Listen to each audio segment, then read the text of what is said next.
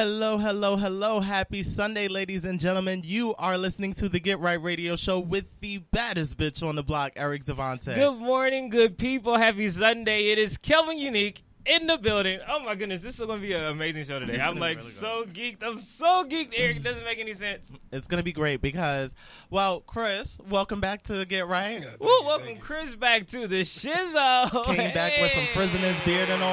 A real grown Hey, man. looking real J. Colish today. Yeah. I didn't recognize you. I was going to call the cops when you came to the door. Yeah, I thought it was. I I want to be honest. This is the first time I've seen Chris in person hmm since I want to say March.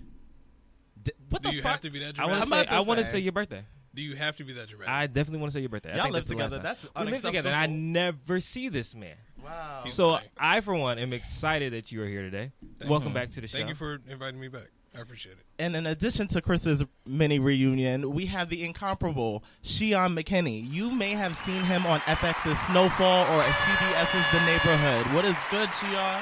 good. I'm good. What's going on with y'all, man? Nothing much. Chilling, chilling, chilling. It's about to be a really good show. I just had to draw some air horns for you. Yeah. appreciate. Make No it feel problem. official. Yeah, I'm from Miami, so drop all of my Pew, horns. pew, pew. Dade County in the building. Hey, You're from Miami. How are you feeling about Florida um, fucking up during the whole coronavirus season? I'm glad you asked that question so we can so we can clarify this for all the people. Miami is not Florida. Oh, shit. It's like a Harlem situation. Absolutely. Okay, Listen, got it. This is why you see that shit going on with like Florida, man. It ain't never Miami, man. It, Mhm. It's Flo- I can't speak for what happens outside of the 305 or or even you know the 954. Like Miami's its own little thing. If you've ever been to Miami, it's its own little entity. Outside of Miami, you might get shot Oh. by you know certain people. Wait, wait. you So can get shot in Miami too. I about to say because those people with Right, those, right, right. um, how do how do you? I don't want to offend anyone with this. Okay. With the clump dreads, with the clump, with the clump locks. That's what I'm talking about. Who are Those y'all people- talking about? Those people outside of Miami is where you kind of find, you know, you know what I mean? I guess a little redneckish, if you will. Oh. Oh. Them type of people. I was so out Right. the loop. I was like, is it the cartel? until, until they started talking, I was like, oh, those type Right, of people. right. oh, okay. Yeah. the gangsters. Oh, okay. Got Right it, up got your alley. Yeah. Well, yeah, yeah, Right yeah, up your yeah, alley. Of course, obviously on brand. but yeah, I, ne- I need Florida. Please, please get it together, bro. Oh, y'all still don't give a flying fuck. I Not saw at people all. at the beach running it up. Oh, Oh, running a full month. Oh, Yeah. Georgia. Who else don't give a fuck? Cali, here, You. tomorrow. You, uh, Wait, yeah. wait, whoa, whoa, whoa, whoa, whoa! You, you are. You are. I think you make up for the state of California. Of, I do of not how make we're up for. fucking up. I do not make up for the state good of California. how we're fucking representation. I have. I am not sick. I do not have COVID. You don't know that. You I haven't know, been tested. I know that because you haven't and, been tested. Me and my God, we know. I have not. I, have not- I do not have. I don't know if he's been telling you the truth, but the nigga's never at home. I don't know if he tells you he'd be at home. But I the have a never job. I mean, Eric. I went back to work you did. You did. I'm- I just asked you two days ago if you was at work. You told me no. because I wasn't. I, But I- I'm, I- I'm, not an gonna say anything essential else. worker. Okay. Yeah, yeah. Okay. You got to give the I people work every day. entertainment. I work every day. Period. From You work nine, every day? from nine to six. But Monday the two through days Friday. ago, I asked you if you was at work. You said no. two days ago was Thursday. Mhm. You asked me at what time. At like noon. Gasp. It, was- it was early. It was early for when you be at work. Quotation Okay. marks. I So think you you asked me. to I think you asked me Friday, which is two days ago, and I was Even if it was Friday. I was off on Friday, and I was not at home. You are correct. Right. I was. He's, he's never. I know at Coven isn't never. at home. Instagram. And he always me said, "Oh, I'm at a home, but I'm not at home." That's okay. Yeah. Well, um. Anyways, Well, we're back to the whole shit. It's just like we never left. I love it. Child. Perfect. Well, speaking of whole shit, Kelvin, how have you been? I've been wonderfully well. That's good. Um, I was dumped this week, but that's okay. Oh man. We back on the market. That's real. We out here. Holla at me. Uh, waiting in two months. Wait, when you say you've been dumped, were you in a relationship or like y'all? Just I stopped was. We were. talking, We just stopped talking. We weren't in a Oh. relationship. We were building up to that moment. The moment was coming, Mm-hmm. and at that moment, it's got out of there. You want to tell us what happened? No. No, they sent me a long ass novel, an encyclopedia, if you will, a thesaurus, if you will. Um, saying that, um, you know, I think that we are great together, but I don't know if this is what I want right now. But I still want to keep in contact. No, you can't.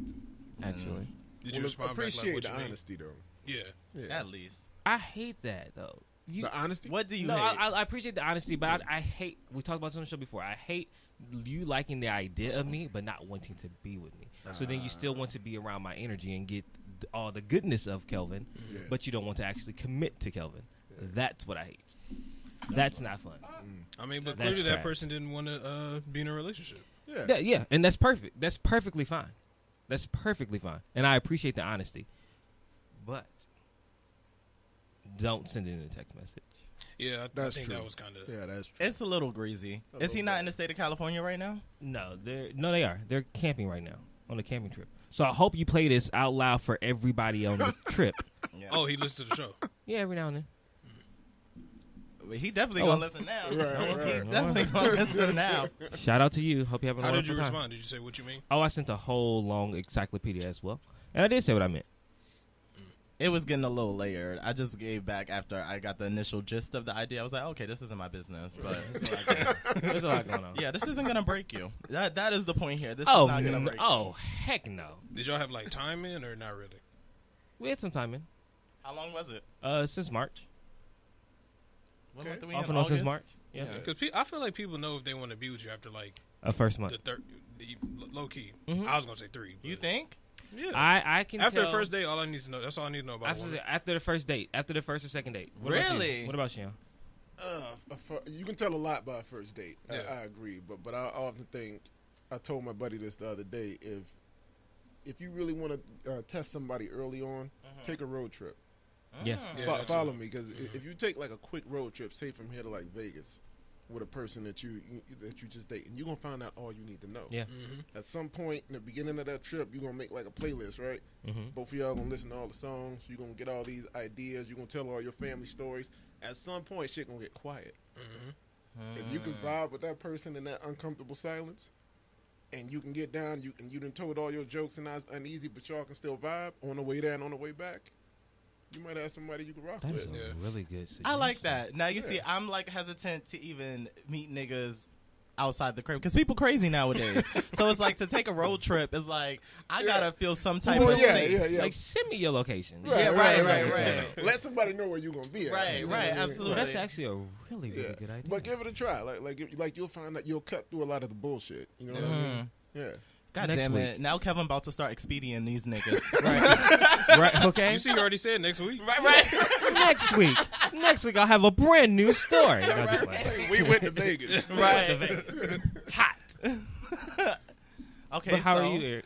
Uh, I'm good. I'm good. I feel like I'm out of my quarantine funk. There was a point where I think everyone goes through it where you just don't know what's going on anymore and you're just trying to go through the motions but figure out where you belong in it. Like Yeah. get your creative on track as well make your money. Um and i feel like now i'm in a space where uh dare i say it i'm accepting this as life for the for the time being. Like i'm not like okay when is this gonna end et cetera et cetera. It's just like what can i do in this moment to exist in my happiness? And i feel good. I feel proactive. I feel like i got money saved like i feel a little more grown right now um Come on, bro. right it's good um i feel blessed i feel blessed i'm going home in like two weeks to reconnect with my friends and family once again Well, thanks for letting me know. Christian, want to come back in two weeks? You wanna come back in two weeks? We'll have y'all back on the show. If you don't know, now you know, nigga. so Welcome back to the show in two weeks. I feel really good. I'm happy. What about you, Sheaun?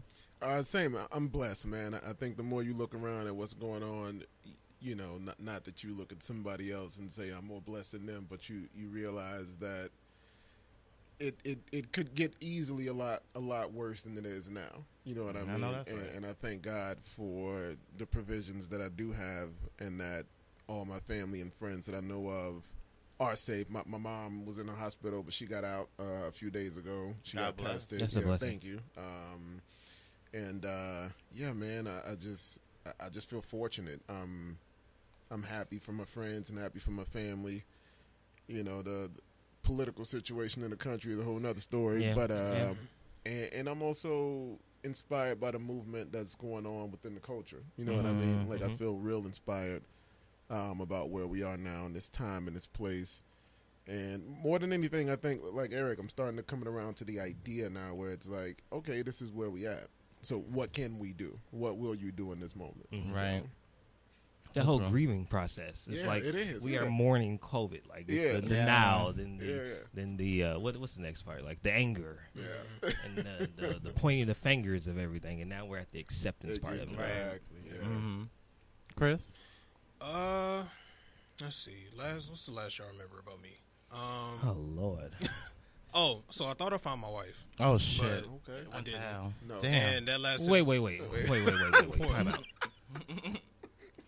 Is this the the young lady you told me like the other when day? I told you I found I thought I found my wife? Yes. That lasted for all of a week. What? No, nah, probably like two weeks. How soon did you think it was your wife? The first day. Low key after the first conversation we had. I honestly thought this was about to something was about to happen. He texted me too, saying, "I think I found my wife. I texted wife." both of you. I was Yeah. like, I literally think I just found the my one. wife. I was so excited. I, I, me too. I, I yelled. I, I yelped.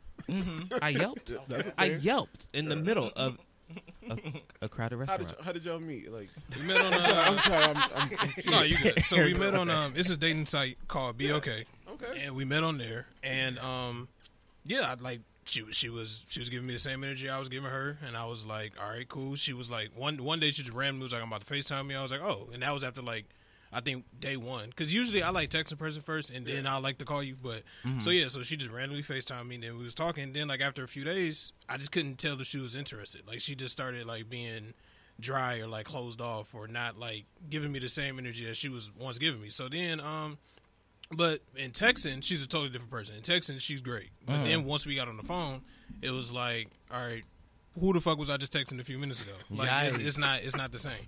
And then like, don't- I hate trying to talk to somebody on the phone when it's like pulling teeth. Like, Yes. don't let me ask you every fucking question. Like, don't let me tell you about my day and you don't even. No, no, no. Don't let me ask you about your day. and You don't even ask me shit about mine. Like, I, I, I hate shit like that. Well, did you did you guys ever meet in person? I asked her on a day, but I canceled because I, could, I couldn't do, I couldn't do it no more. well, maybe I she wa- just want to be more like genuine Lively in person. I, Right. I couldn't do it. Because I will say that most like my, my I'm, I'm probably the oldest person in here, but but I will say like anytime I, I've used a dating site, you know, and, and and talk to a woman, and I'll tell her straight up, I'm gonna call you, I'm not gonna text you. Mm-hmm.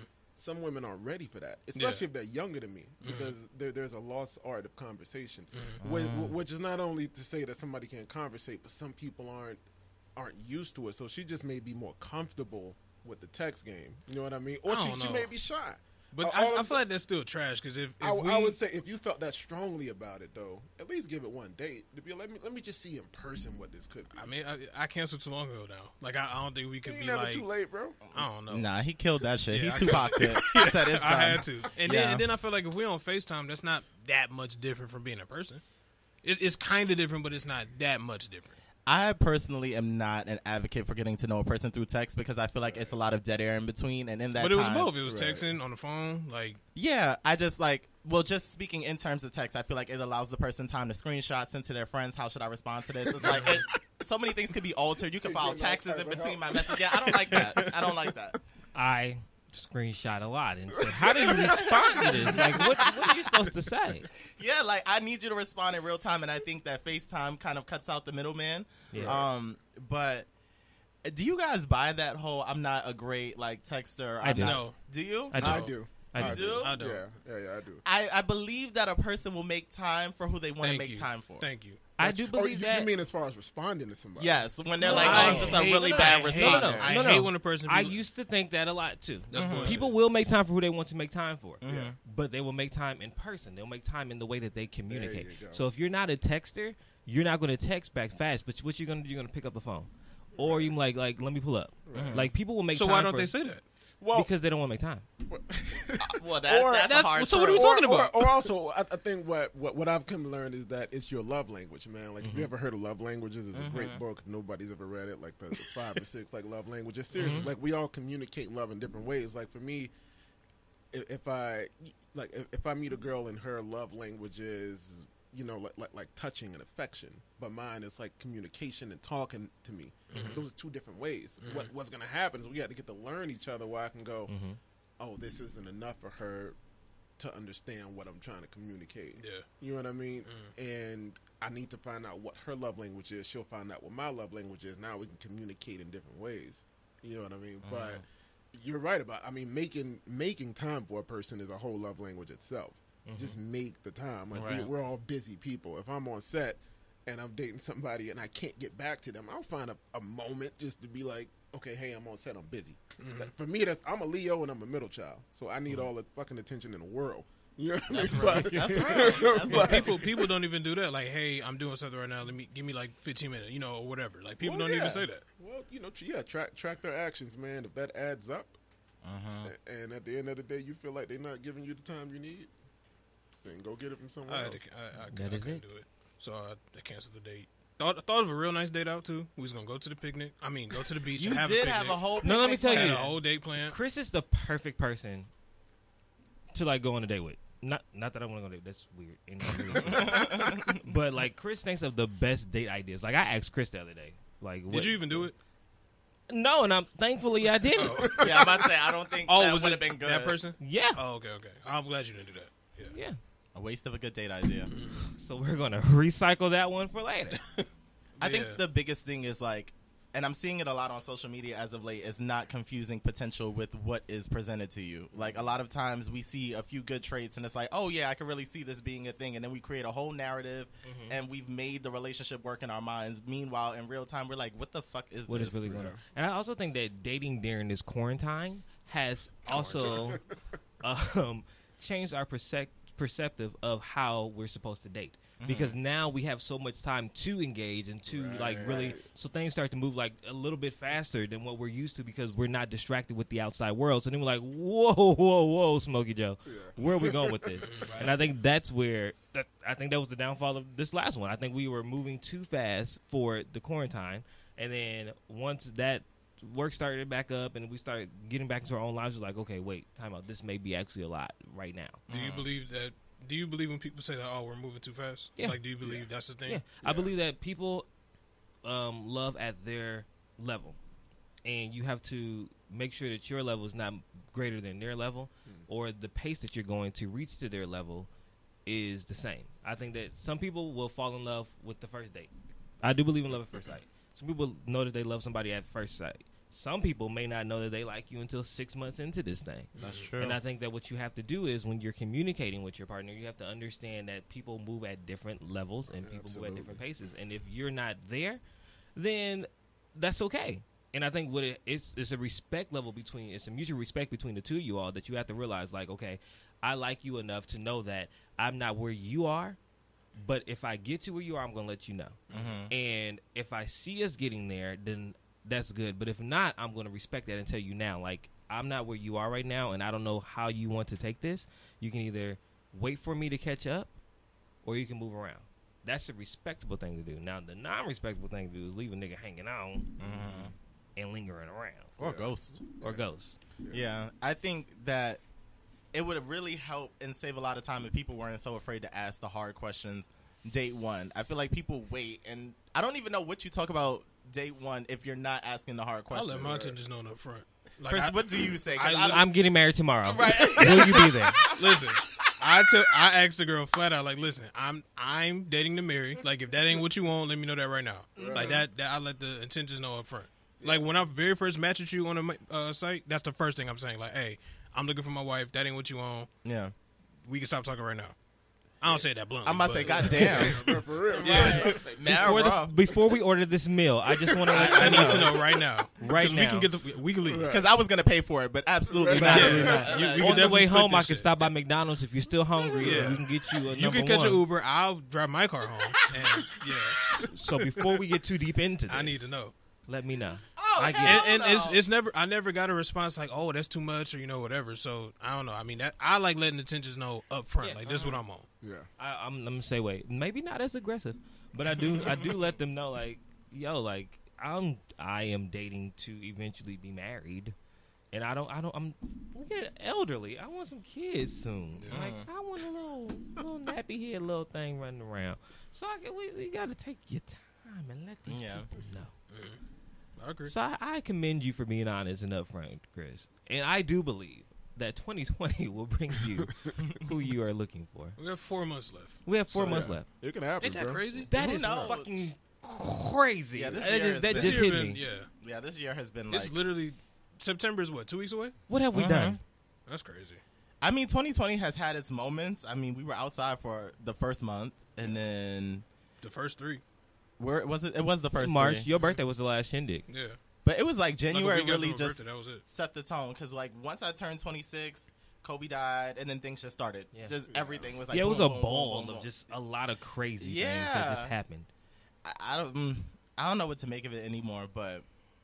I, I, I feel like in this time I've gotten to know myself, and I feel like the biggest thing I've come out of this with is that I don't want a relationship anytime soon. I just Wow, Eric. Meanwhile, we're over here looking for love, and you're y'all over here proposing before the away. appetizers come out. And I'm like, I'm- I'm- whoa, whoa, sir. Do I know your father's name? So, so why did you figure out why you don't want love right now, or you? Excuse me, not love, Yeah. a relationship. Right. Don't put me in no toxic shit manifesto. Okay. Um, but just because I see so much of how people navigate relationships and they want your full time and commitment and energy, and for me, it's like I notice when I walk down the street, my head still looks back all the time, and I'm Mhm. always looking at people. So it's like for me to put myself in a space where I shouldn't be doing things like that, knowing I still wanna, I enjoy my freedom and I enjoy this flirtatious energy. Why am I wasting your time? Well, I'm the same way. My neck breaks often, but I think it's going to continue to break until you find somebody that's make you want to look forward.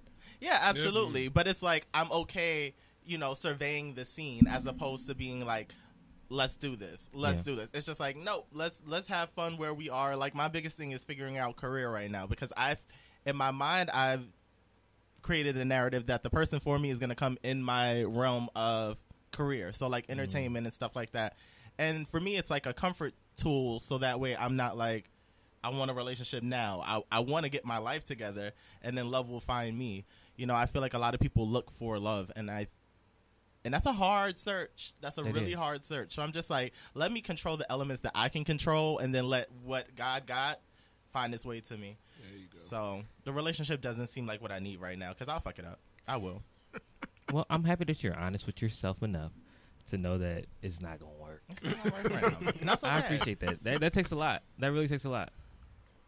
It's a new lo- It's a new level of self love. I feel it, and I feel like quarantine has kind of forced all of us to love ourselves a little more because you can't be around other people. At all.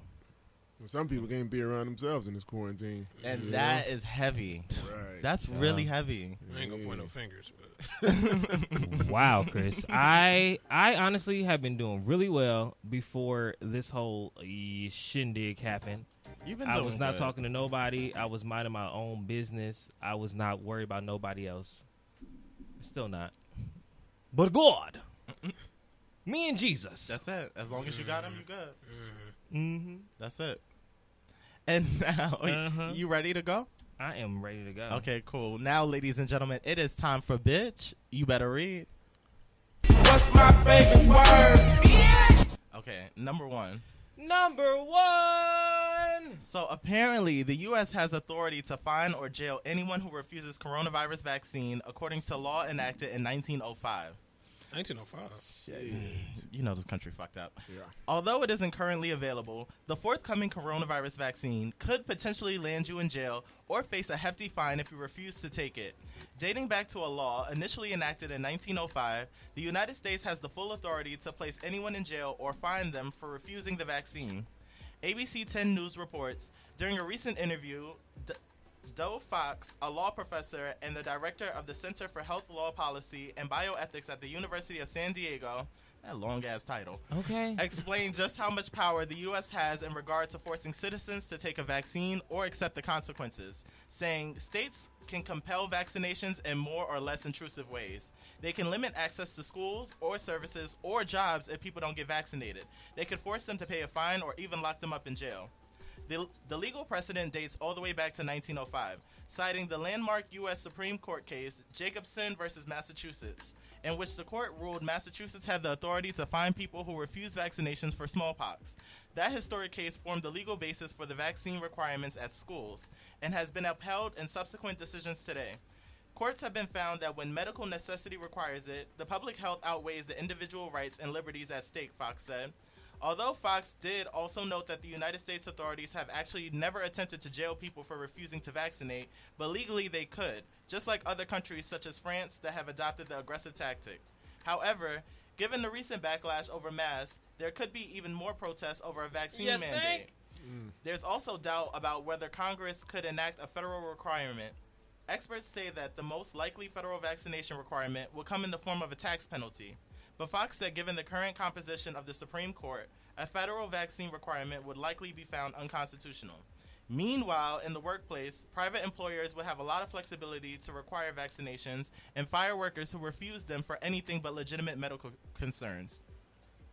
So, in other words, I was popping all this shit about not getting vaccinated, Right. and they about to throw my black ass in jail. Basically, But I guess I'm confused on like, what are they gonna come to your house and be like, you have to take it or like how? well, would- no, I think what what he, the, the the gist of it is the less intrusive ways what for for them to mandate it like at at, at your job or at uh, if if they go to like mm-hmm. say like Ralph's and mm-hmm. Ralph's is uh-huh. like you can't come in here unless you're vaccinated. There's ways to put pressure on you to make you Yeah. do something. You know what I mean? Like I, how would they know you did it though? I Like, don't I could know. just you have I a got you it, have a card. Like, how do you like? It's like when you get tested for like Right. STDs and stuff. Yeah, like you you get, have my I'm email, sure my it'd be results, or some something. type of- but I just copy and paste that. I'm not getting one. This about to be the I'm mark of the beast, like the Bible says. Okay, that's what it is. They put a little chip shit. in you. Right. I'm not doing it. I I'm have not not gotten the flu shot since college when we had to get vaccinated, and I have felt fine. And Uh-huh. I just, it's something about putting a virus in your body to combat that virus Yeah. just does not sit well with me. Yeah, like no. I don't want that. I'm gonna drink my water, eat my gummies. I didn't eat one today. Eat my gummy vitamins, and I'm gonna continue to like try to be the best me that I can be and stay healthy. Wash my Uh-huh. hands. Like I don't. I'm not a COVID conspiracist. But I am also not about to be shooting up myself with no vaccination that I don't even know what's in it. Like, I- I don't don't don't vaccines got to be like on the market for like three, four years or something before like like they give them to the public? Yeah, well, this one is definitely being rushed out. you Yeah. know, This country don't really care about ethics. at all. Like that's At all. never been their foundation. Never. You know what my new favorite pastime is? Wow. The five o'clock Trump press meetings, conferences. Have y'all watched it? No. I can't I saw the listen. most to, recent I, one. I can't even listen to him. Oh my goodness, they are hilarious. I can't. Oh, Trump I is. just like when the reporters be like, "So what are you gonna do for like when you're like what, what did he say when he was like, uh, how are you gonna apologize for all the lies you Yeah. Lies. Yeah. yeah. he said, "I'm sorry." Next person, you right, here. right. right, right. I think it is hilarious. Like my, me and my mom, we watch him and we call each other right afterwards. Like how he keep calling this the China virus. No, it's, it's an American virus now because China's good. So it's an American virus. How he just shuns everything. It is literally like watching a TV himself. show. It's Yeah. just- yeah. But I just, for me, I've become exhausted with it because I feel like at first it had this uh, element of shock value. Mhm. I'm not shocked. Something shocking now is productivity. Like, Yeah. if you tell me something that's actually conducive to my well being, I'd be like, oh, okay, well, now we're talking about something. But him sitting there neglecting reporters, being an asshole, not wearing a mask, it's just like, I can't, I can't entertain It's this really anymore. it's it. Damn, I've never seen Trump in a mask. The same person He enacting does this not wear a shit. mask. I've never. Seen, I just thought about that. And his brother died yesterday, so rest in peace to his brother. But I Oh. bet you, I bet you. No, because I'm not bet you because I don't pay my bets. You I bet don't. you guys. You fucking fraud. I don't want I'm to a do fraud. it. Yeah, no. Sheaun, I He's- bet he still you. owes me. I don't want to do that. I bet you that his brother passed from COVID, COVID related, COVID related um, illness. Because all the reports I'm saying he was hospitalized for a for an unknown illness. Mm-hmm. Then he was hospitalized for a couple days, and then he passed away. I bet you it's COVID related. Could have just been he was old. He was, Oh, he wait, was what, old. he He said was his younger- 71. He was 71. Oh, his younger brother. Yeah. All right, Trump but is also okay, very elderly. but still, But I really think, I, I bet you it's COVID related illness, and that's why they have not released that part yet. but because when he went to the hospital, they would have said he was sick because of blase blase yada yada yada. Right. That's but true. since they haven't, I bet you it's COVID. And Trump has COVID. Trump has it. Everybody's come in contact with has had it. How has Yeah, I'm not- everybody I you wouldn't be- I wouldn't be shocked if he did. Like, I you wouldn't know, either. like I'm, I'm not a conspiracist. I do feel like, uh, you know, Corona's been in the country since last year. I Uh-huh. think they knew that. I do feel like when they got the data that it would affect minorities more, Mhm. that it was a conscious decision to be like, let's sit back and wait and see what happens. Mm-hmm. I don't believe they created it and like you know spread it. I, I pray to God that's not what happened, but I, I do feel like once they got word that it wouldn't affect them as much, they were like, all right, Yeah. well, you know, we'll, Let it we'll- ride. Right, we'll let it ride.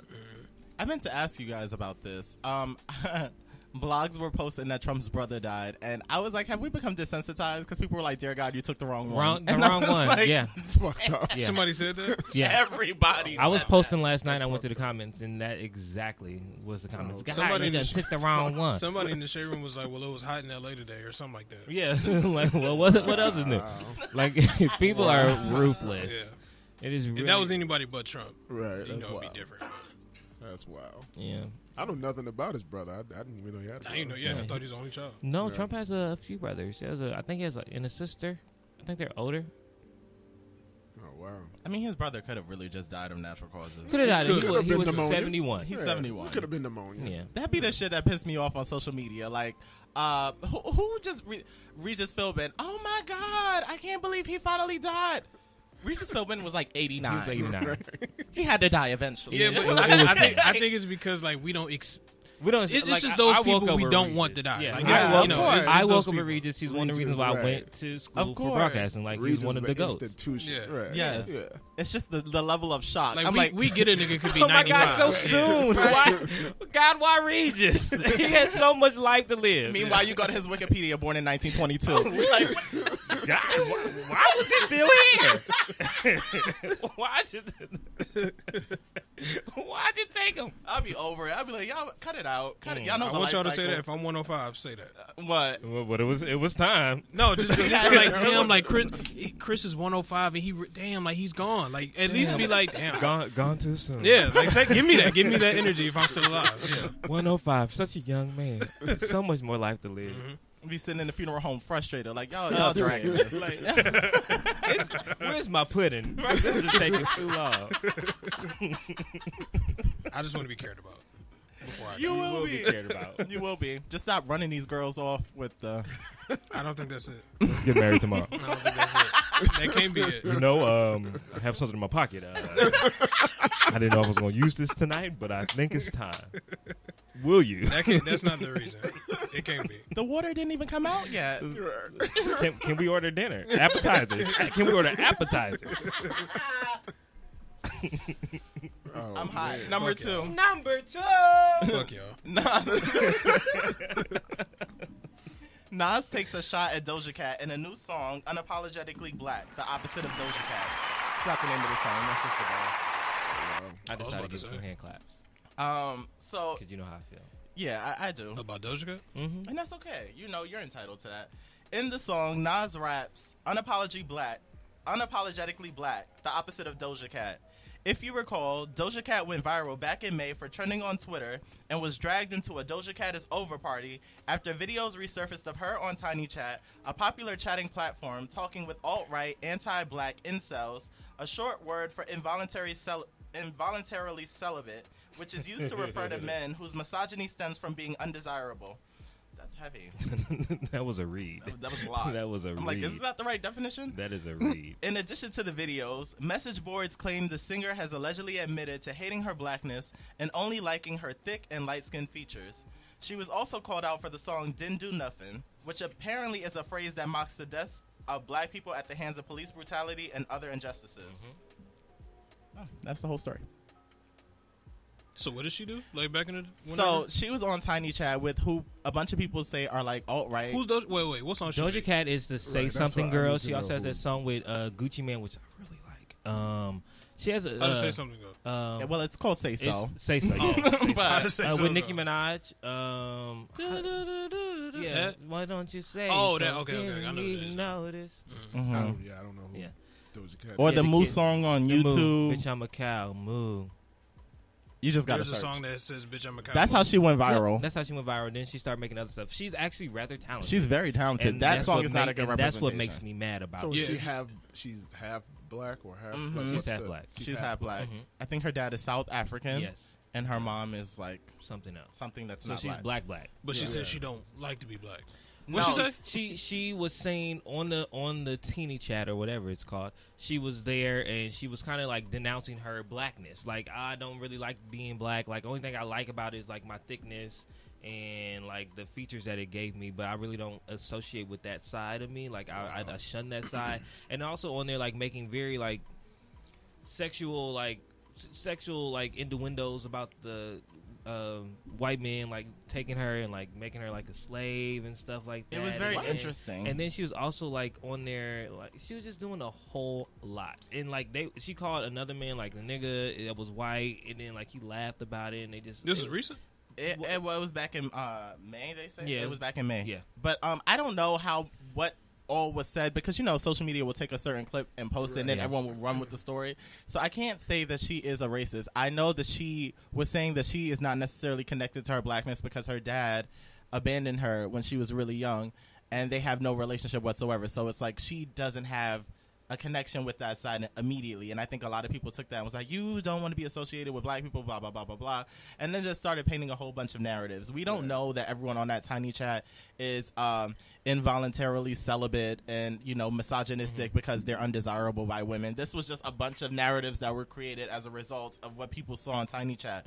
What we really saw is Doja Cat looking kind of strung out and um, kind of, like Kelvin said, spin sexual innuendos and, um, you know, having calling white guys niggers and stuff like that. But it, it's not. It's still not enough for me to say that I think she's racist. Do I think she's weird?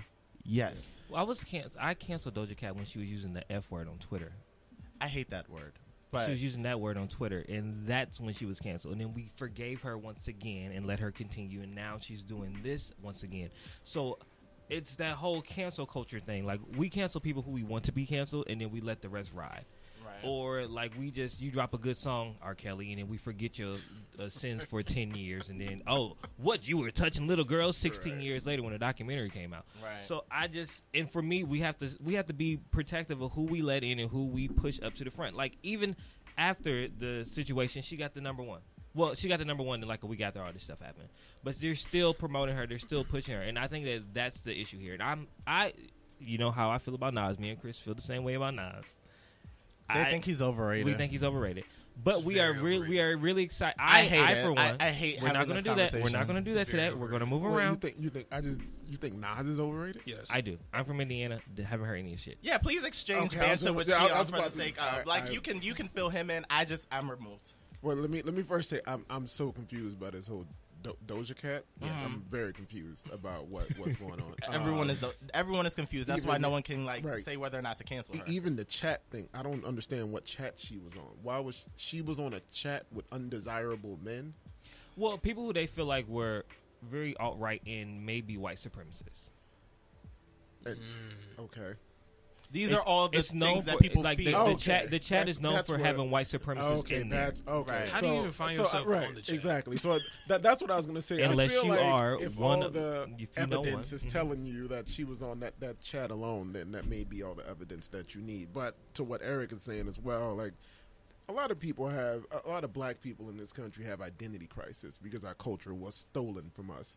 And now you couple that with somebody like that who's in the, you know, public eye. It sounds like homegirl just like she just needs help. Mm-hmm. That's needs real what I got from psychological attention. Now back to Nas is overrated. Right. They, let's Here we talk go. about. I, I Here don't we know. go. It was such a great show. Wait, Indiana? Indi- and where, where you from? LA.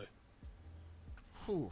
I, I don't know. I mean, you're Maybe it's because you're from New York. Maybe. Yeah, I, I don't. I'm That from Miami. and he's from like the South. I'm from Miami. I don't know. I feel like the East Coast like just goes straight down. Um, I just feel like you, you all just take that music straight down. I, I just I don't know. Like Nas is. Nas I feel is like top- I've- I've Nas heard enough- top five, bro. Like Of top five, what? DOA of MCs. Top five of overrated artists of all Oh time. my Yeah. god! and he's nor- he, and the crazy thing is he's like. If you have this conversation with a huge group of people, he's going to be in majority of their top Right. five. And I I know, don't and think I, and. I get that, and I get that. And then when you ask them to name their top five Nas rhymes, Mhm. All you got to do is play. Where they Illmatic. All you got to do is where play they? Illmatic. What's your What's your favorite Nas line? my favorite Nas? Oh my god, to pick one. Think about think I, about I it. would I would really have to think like like like think think on like Well, one me, Nas line. Give me give me the one that pops up right now. oh my god! It, I just think I think of the song like "Black Girl Lost." Like I think of that song. Uh, and I also think you're stalling. Right. you put me on the spot. you put me on the spot. You did. You put me. My mind went fucking blank, like completely. I was like, wait a minute. I got my as, as, as, as a lot of people do when they think of Nas songs. oh my god! I don't know, like, bro. and I know you guys have this. you guys have this thing where it's like, you know, I know Jay Z is your go, et cetera, et cetera, but it's like, even Jay Z would say Nas is top five. Right. So it's I like don't think I- you would. you don't think Jay? Have you listened to Illmatic? Uh-uh. No. Can you please? Uh, how, how about Is that this? my homework? Uh, how about this? I will come back on this show whenever after you both listen to Illmatic Okay. and tell me that that that album is don't not only gonna be able one. to. I'm not gonna be able to make it through. Oh my god! That's because you don't want to make it through. That's because you don't I'm want to gonna, make it. I'm gonna listen to it. Is that um, anytime. is that that that song has if I rule the world on it? That that CD No, has that, that? no, no, no. See that that was even before if I ruled the What was world. the hit single on Illmatic? I don't think there was one. Was it one Oh mic? my! No, one mic No, is one- definitely one- one- one That's mic- like with the 2000s, green right? No, well, you know what? What I green can dress? tell you Khalees right. I listened to the album with after uh, right after now. Amy Winehouse died, and he had the Amy Winehouse feature on it, and he had the green dress on the cover. Not After not, after, here- the here's divo- a after more- the divorce, here's not a cherry wine. That So on the album. listen, like like That's what it was. No, it was not. New Not even York- close. I'm, I'm talking about. New York State of Mind. Okay. This was on Illmatic. This was on. This was on Il- Illmatic. Represent. It ain't hard to tell. One love. Like, now, this Are was his any of first, these like popular like This now was his songs? first album. How did these songs go though? Like what, what's the most popular song on the album? Can I play this song when y'all get in trouble? Oh yeah, you get seven seconds. You've heard this song on so yeah, many movies. yeah, I think it's How about- 15 seconds. Go ahead.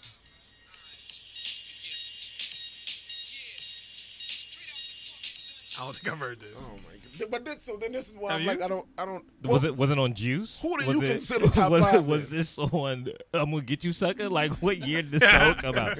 many many songs, all the, all the movies of the '90s. Like when did this? Well, who do you consider top five? top five. This sounds really millennial of me. Right. Uh, top five, in my opinion, Jay. Jay Z. Jay Z. Yeah. I hate that y'all will do that and not Jay, put. Not, Jay. okay, Not come on. put- Jay, not- Jay is so much. It, I think it's, it's preference. Like it's either you gonna like. You can't like both. I don't think. Yes, some, you some can. people, Yeah, some yeah, people yeah, don't. I Like, agree. but some people Listen, don't though. Like some, I- I'm I one of those agree, people. I, will- I will tell you right now, like me and one of my best friends in the world used to have this argument, Jay Z versus Nas, like every day when they was going at it, when they was battling. Y'all probably don't even remember, know the battle. do Mm-hmm. I know y'all? the battle. So, and I remember Takeover and, and, either. and, and I told my boy, I was like, I'm a big Jay Z fan. The the difference is Jay Z is a complete package of an artist. You know what I mean? Whereas Jay's got songs that you can play anywhere, and and in any situation. Mm-hmm. And, and and so does Nas to a degree, but but I think Jay has a bigger catalog of that, and that's really what separates them. that. Because lyrically and like on the mic as an MC, it's not many people messing with Nas, bro. Like like lyrically, you like like like Kweli, like everybody can't be Kweli, and that's a great thing. Mm-hmm. You know what I'm saying? Like you can't play Kweli probably at your family get together because people trying to dance, mm-hmm. and there's not a whole lot of Kweli that you can probably dance to. There's some, but that's kind of what separates like Jay and Nas to me at least. And then you see where Jay is now. His whole his whole package is just bigger, like as an It's an artist. empire. Right. Where I think Nas was just more like he, he was a true and still is like a true MC. He's got another album coming out. Does he? Yeah. I can't believe you said It's, uh, I, I, me Is being a Queens person was so It's okay. hurt. Is I, anybody I, gonna? I am to it? going. I am going to trust Sheaun because little known fact, he was in a rap group called Three in the Clip. Oh my god. Who was? Who Sheaun was. you? Sheaun was. Who told you Sheaun, that? Sheaun was in a rap group called Three in the Clip. Clip. Oh my What, god. when he was back in Miami. Yeah. So. Wow, Wow. she. Uh, So when you were rapping, Yeah. may I ask what your rap name was? My Was it Sheaun? God, no, no. I went through several different rap names before I realized I shouldn't be rapping.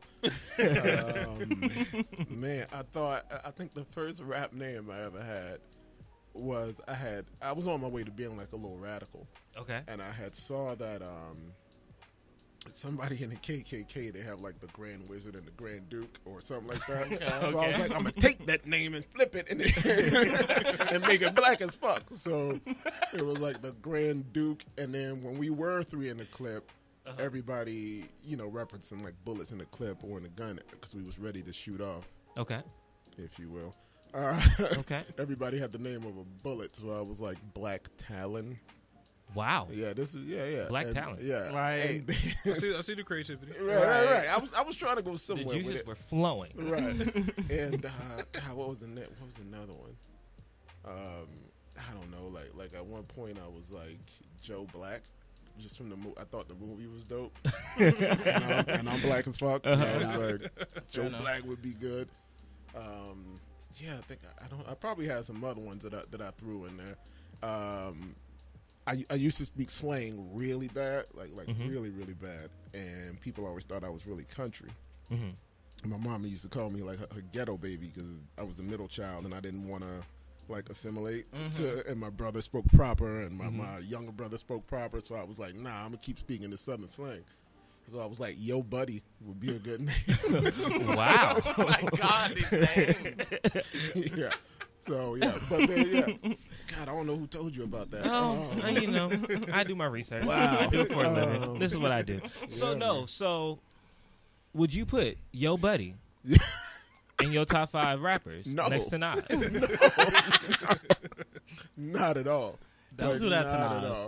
All. And that's not to Yeah, discredit no, you. no, no, Whoa. please, please, Whoa. he's right. No, that he is right. Don't do that He's to Nas. right. Don't do that to Nas. I can't. I can't believe y'all feel this way. I'm so. This just made me feel old as fuck. By the way, It's not even an age thing. I'm starting to think it's regional. I'm starting to. No, think I just think it's regional- preference. Right. I just think it's preference. Some I people like is Nas, some people don't. Maybe, maybe. Oh my god. Like, I mean, I've already explained. Like, my love of male MCs come from their female counterparts, and Jay Z and Nas had a huge hand in Foxy Brown. So it's like, for me, I could never like. And then I already explained to you how I feel about Jay Z on music. I feel like audibly, like Sheaun was saying, Jay Z is a whole empire, a whole package. Right. Audibly, if it was just music, Nas sounds better on music than Jay Z.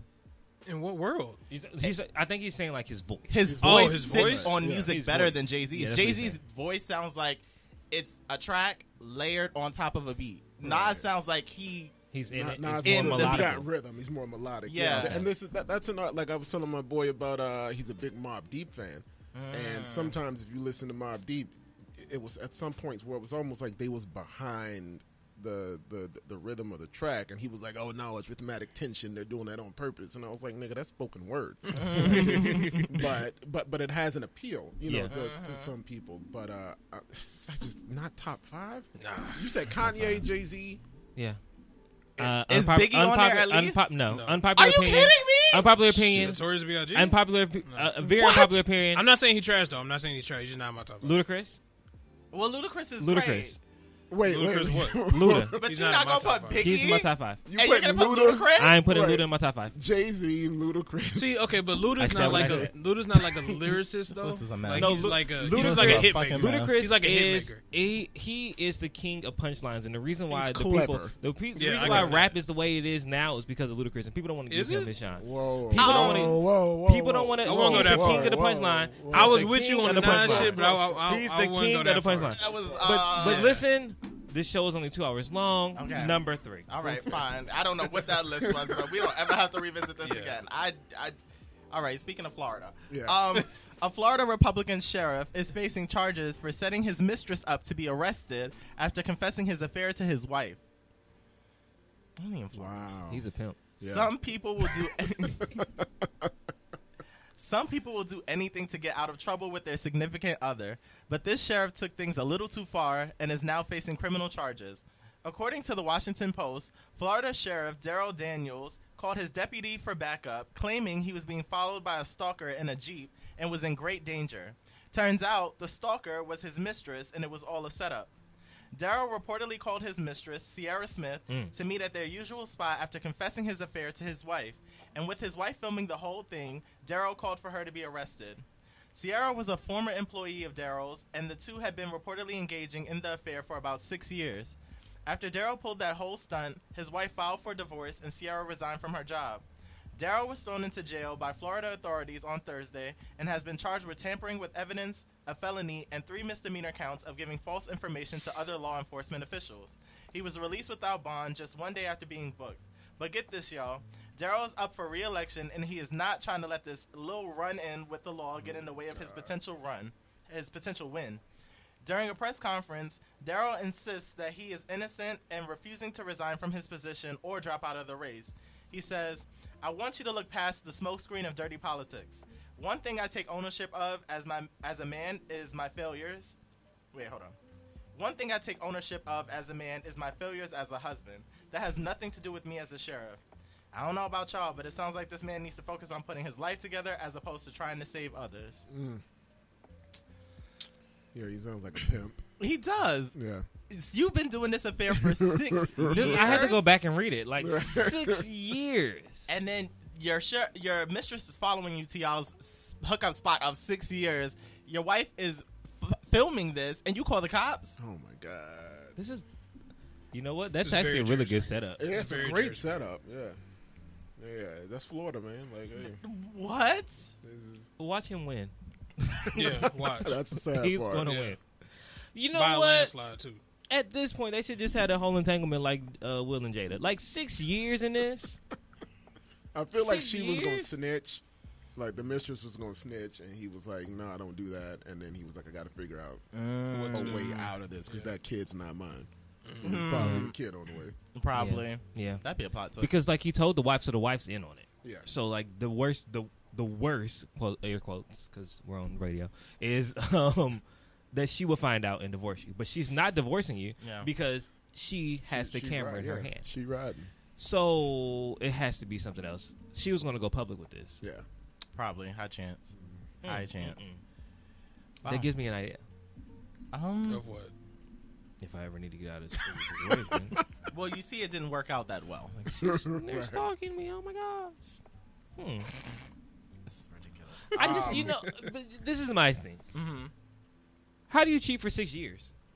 What do you mean? How? How I don't, I can't cheat for two days. I'm not good at keeping up lies. I'm horrible at keeping secrets. hmm Like I can keep secrets, but I gotta tell somebody. Right. But like, I don't see how you can put up this charade for six whole years. However it's he possible. did it. Yeah, Yeah. However he did it. Unless she cheating too. Unless has she- to be. be. She Right. has to be Yeah. cheating. Yeah. Because like, what do you say? Like, I know. Well, he's a sheriff, so m- late nights he could be like, "Oh, I was That's working true. late." But like, Definitely eventually, job, but too. eventually, like, I'm be like, something ain't right." Mm-hmm. Like, you don't have to. If you, I feel like you have a connection with your partner that you feel like something's off. And if something's been off for six whole years, Mm-hmm. did they go to marriage counseling? Like, what is going on? Like, I don't understand it. Or she's just not used to getting attention. Yeah. Maybe that's what it is. Yeah, I don't. I don't know. Cause I'm calling somebody. I'm showing up random with some brownies at the uh, at the shared office. Oh, You're working late. Oh, hey, you guys brought brownies. Just Oh, to make sure. oh, where's Daryl? oh, okay. His Daryl's shift not, ended two hours ago. Daryl's not here. Those brownies. what do you mean Daryl's not here? Like I. Mm-mm. Mm-mm. Wow. This whole story. Well, God bless Daryl and his. Yeah. uh He gonna get reelected. He gonna win. He Definitely. is That's Florida. because if he can keep a secret that long and keep up with the charades, he can protect the Floridian people. He's obviously resourceful. Yeah. Okay. Obviously. Number four. Number four. Social media shows support for Azealia Banks after cryptic messages, as well as Lakeith Stanfield. Just wanted to throw that in there because they both was talking some crazy shit a few days ago. I missed that. I Lakeith? don't know what Lakeith said. Mhm. I missed that. Yeah, look. Ooh, What child. did Um, Lakeith say? Yeah, I so. Lakeith, because I didn't put this in the story. Um, Lakeith was posting videos of himself Yeah. pouring alcohol into a pill bottle, Yeah. and he was saying, "I like being by myself because no one can stop me from hurting myself." Yeah. And I missed all. of I that followed sort. Lakeith. I Yeah. must have missed all of that. yeah, it, was, like it was posted and deleted. hmm it was like very real late or strange. something. It was late. I sent it to Kelvin late.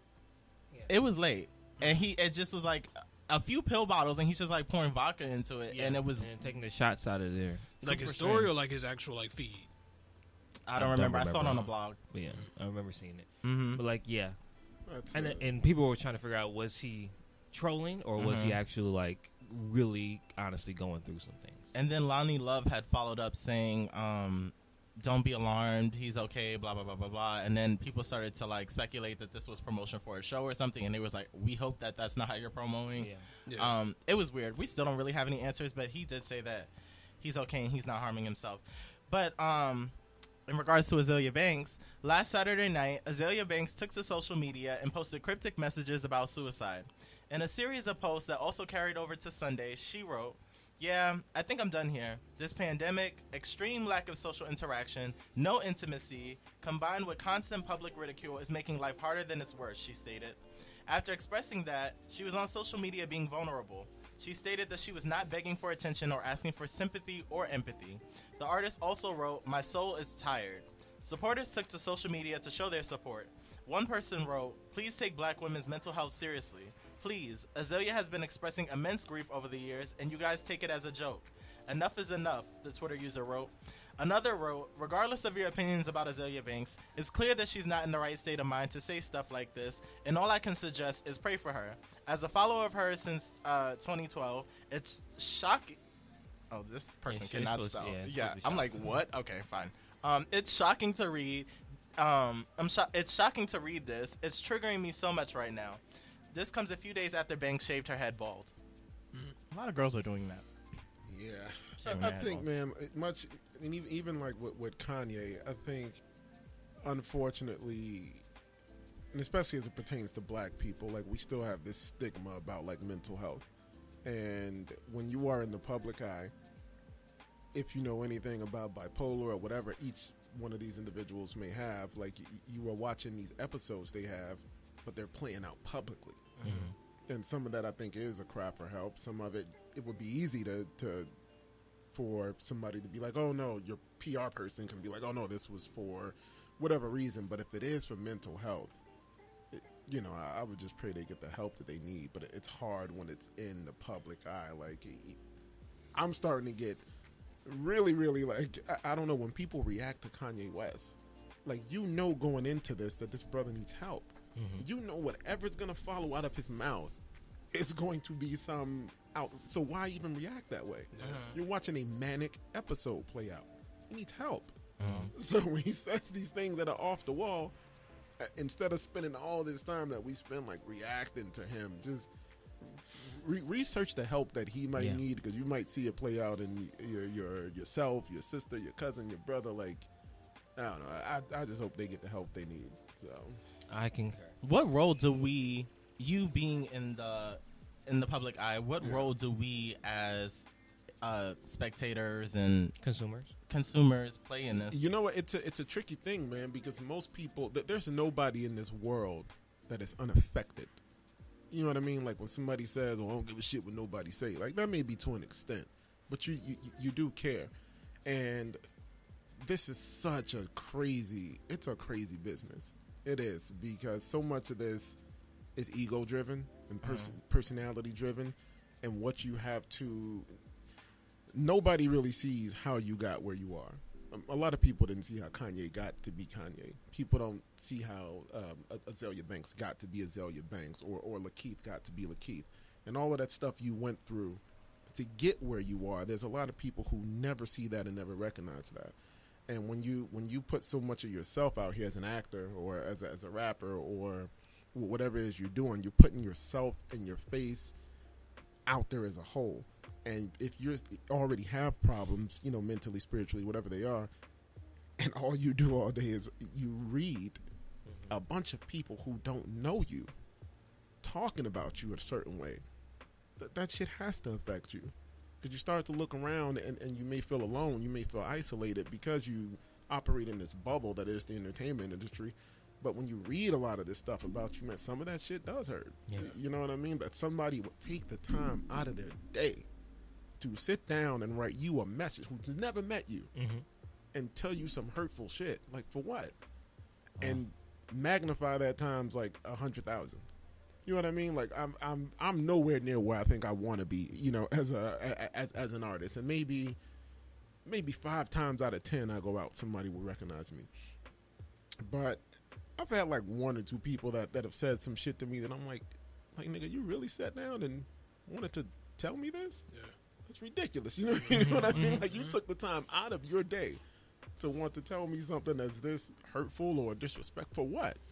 Like you know what I mean? And I I think some, you know, it, that that's a great a great question. Like just, I think we all can be a little careful of the way the way you treat people, man, because that shit comes back. Yeah. You know what I mean? Like it it comes back. But yeah, I, I think everybody's entitled to an opinion. You can mm-hmm. have an opinion, and we can all joke, we can all have fun, and there's al- always going to be some cynicism involved. But I would caution people, man, just just to be a little careful what you say to some people, man, because you never know what might be that one thing to push somebody you don't know mm-hmm. right over that edge. You know what I mean? And not that that's your responsibility, but As a human, it's nice. to as a care. human, it's nice to care. It's okay to joke. You know what I mean? But with, with some of these people, man, it's they Yeah. already on the edge. You know? I think some people also enjoy the thrill of having a response from a celebrity. Absolutely. Like, I think that's a lot of people because I noticed like now it's becoming a thing. Well, I I'm into reading comments on social media. It's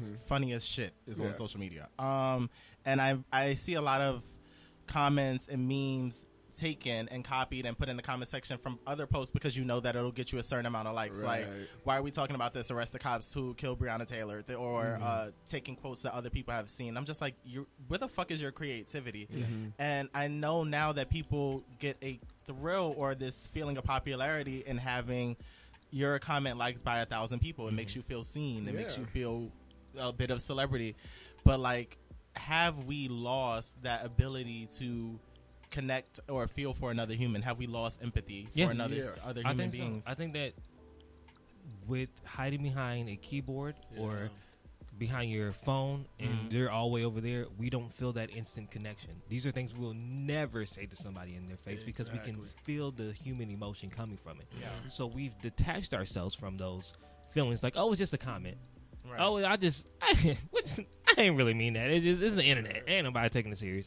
But we forget that these people are actual people and they actually have feelings. Kind of like what I say, like we're wearing the mask. I'm not a maskist, but like wearing the mask, you you forget that people like have human. You forget how human interaction kind of is because you forget like having a simple smile or just like Mhm. saying hi to somebody because we're all like separated six feet apart. Like we can't we can't really talk and like really engage with people like how we want to. And I think the internet is a prime example of that. It's like I'm not engaging how I want to because I have this mask or this screen or this distance between us that I forget what it feels like to be human and to show compassion and to show that I care. So we get on these internets and when people like Kanye or Azealia, who I did listen to her music, I listened to um, Anna Wintour and I listened to 1990. What did you 1991? 1991. What did you think? I she's actually really really talented. She's very talented. I was thoroughly impressed. but nobody is going to talk about it. Nobody's going to talk about it because she does things like this. Now, this is a, this the other side of the coin. I feel like she is a, a has perfected the art of trolling. I agree. And when it comes to people who troll often, it's like the boy who cries wolf. Right. You keep crying, you seen a wolf, you seen a wolf, and we go into your rescue and try to help you, and there's no wolf Ain't no there. wolf. So when the wolf actually comes and you your ass is Aiden, Uh-huh. like, well, damn. Yeah. So Right. I think this is what happened to her. Like I do think that maybe she was like really going through something, but we became so desensitized. But she's been crying and done all this stuff so much before that we're like, girl, really? Uh-huh. Like, is this just another time that you just going to be like trying to troll instead of us actually like, okay, maybe she actually needs help. Uh-huh. Yeah. I agree. What do you think, Christopher Christian Charles Almighty White? I mean, yeah. Um, I don't know. I, I mean. I guess yeah, I don't. I don't know what. I don't know. We never know what somebody's going through. So, like, Mm-hmm. I mean, I don't. I don't know what steps that person needs to take, or like, you know, what all we can do is pray for the, you know, pray for their health, pray for their sanity, pray for them wanting. Because some people don't even want the help. Like, some people just want to feel how they feel and just be like, all right, fuck it, I'm gonna take my life, or you know, whatever. So, um, I, I don't know. Like, I hope she does get whatever help she needs. Like, I hope she's receptive of it. Like, I hope somebody is like with her. Because does she live by herself? Is she is she in a relationship? Like, is she? We don't We don't really know. know. other than what she gives us. Oh, okay. Well, yeah, I, I don't know, man. I just hope like her her parents or somebody's in mm-hmm. her life that's like, hey, let me take you here so you can get whatever help it is that you need. Her, Lakeith, whoever else it is. Like, I mm-hmm. just hope that that happens for her. So Yeah, it's, it's it's very crazy to hear like somebody actually say like, oh, I don't even want to be here anymore. yeah. It's like, damn, like what? I always always be want to know like what happened to where you feel like you just can't have a life anymore. Yeah, well, that's. I mean, th- there's so much going on behind the scenes Yeah. that, like, we, you know, I, I don't know anybody at this at this table in a great way. I know Eric, but none of us know what's going on behind the scenes. You mm-hmm. know, for a person, and I think that the pressure that, and I'm not trying to make an excuse for any quote unquote celebrity or whatever it is, but the pressure that someone may be under to either perform, either deliver, or live up to a certain standard, people deal with that pressure a different way Yeah. and and like you said, they may not have anybody they can turn to to to reach out to be like, I, I fucking need help. You know what I mean? And this isn't because we are so desensitized. This isn't really a society that's willing to embrace people until the tragic thing has happened. Uh-huh. That's the unfortunate part. Because most people see it and be like, oh, she'll be all right. Right, Right. exactly, Like I know yeah, I've yeah. done that. Like to certain people, I'm like, Yeah, oh, man, she, she'll be she, all right. she'll be Yeah. all right. Especially if you got, or they think you got money. Like if, Right. you, Yeah. if, if Yeah. people think you got money, it's assumed that everything is okay. You know, hmm Yeah, it's heavy. Um, we'll get into that more uh, when we talk to you. But number five, Number five. attorney in Cuba Gooding Jr. sexual assault case reportedly argues that women with small breasts tend to have a distorted perception of reality. What? I read this and I said, "Well, Cuba's going to jail. um, let's fight temptations in there." Um, Wait, he's still in jail, though, ain't he? wait, wait, can you read her line again? I'm yeah. sorry. Um, attorney in Cuba Gooding Jr.'s sexual assault case Right. reportedly argues that women with small breasts tend to have a distorted perception of reality. Argued this in court? Yes, absolutely. With facts. In Maxine Shaw, attorney at law's courtroom. okay. No, he didn't. Yes, he did.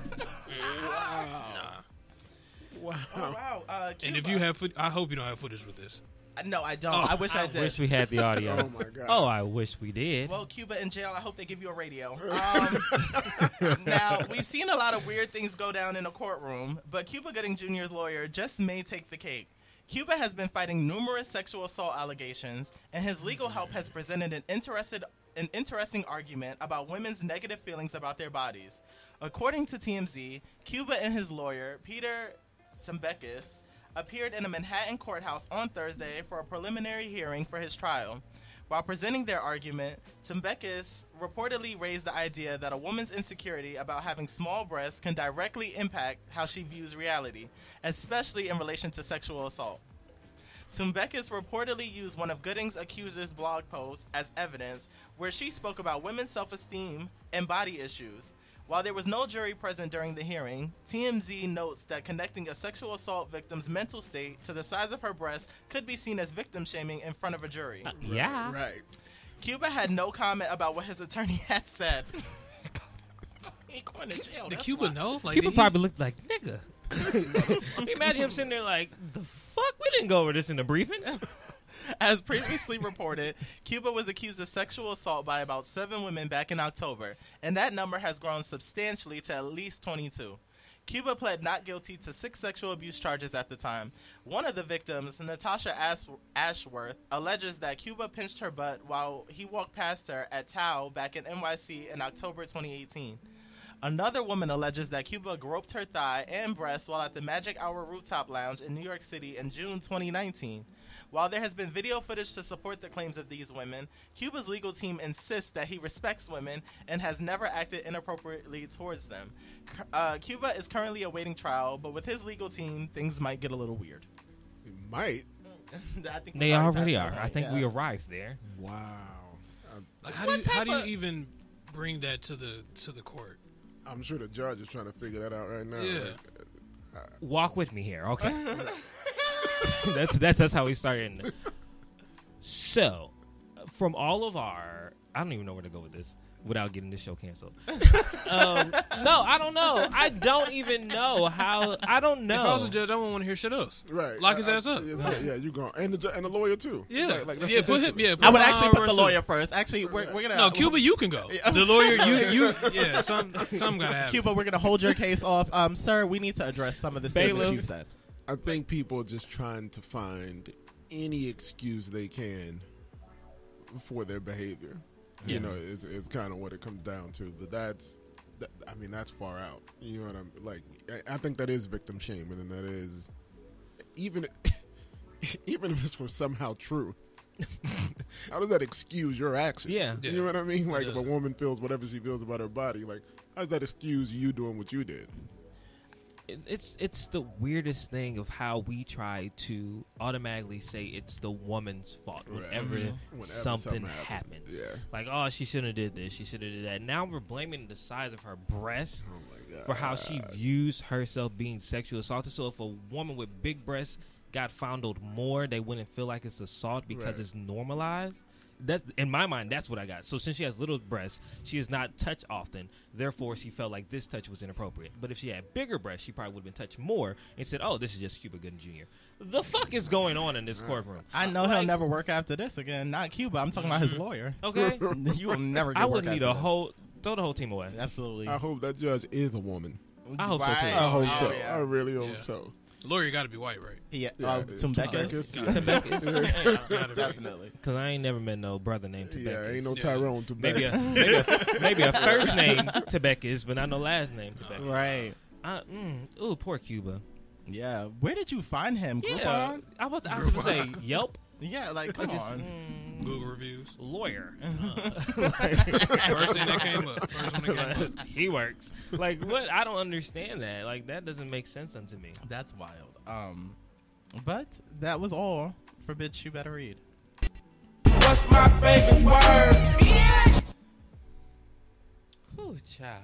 Women with smaller breasts have a distorted perception of reality. Wow. That's great. Good for them. How bold do you have to be to even bring that to the judge? Or what made him get to that? Like Privilege. in in the briefing was like, what was the strategy? How did we? I think he did that on his dots? own. Like he had had like I'm I'm I'm gonna knock him with this one. Like, like this, you're gonna get freedom. Like I think in his mind he was like, oh, I, I'm gonna get this nigga off tomorrow. That's it. Like he didn't. He On couldn't have ride told. over. He He was couldn't like, have. yeah. No, I don't think he told Cube. I feel like he was before he went in. Was like I'm getting this nigga off with that Right. tomorrow. Like I, I, that had to have been it. That was his Johnnie Cochran. Uh, if the glove does not fit, you must Had quit. That was the Had to line. be. He said, "Aha, I found. I found it. I uh-huh. found aha, it. I got it." Because if her titties are small, but if her titties are bigger, like I, I, that had to have been. it. Oh my God! Mm-mm. He knew he was gonna get him off. It's Becca, That's it's crazy. over for your career. That's Done at this point. But now let's take some time and get to know the amazing, the incomparable Sheaun McKinney. Hey, thank you. Yeah, yeah, Thank yeah. you. Calvin, give me a, a song I that's was, I, you see, I was trying. I, I don't. To, I don't know see what me? works. 'cause Did you see me like sound bites are so specific. I was going down. I don't want to play slaves. I don't want to. Just because. Here I go. oh yeah, that's true.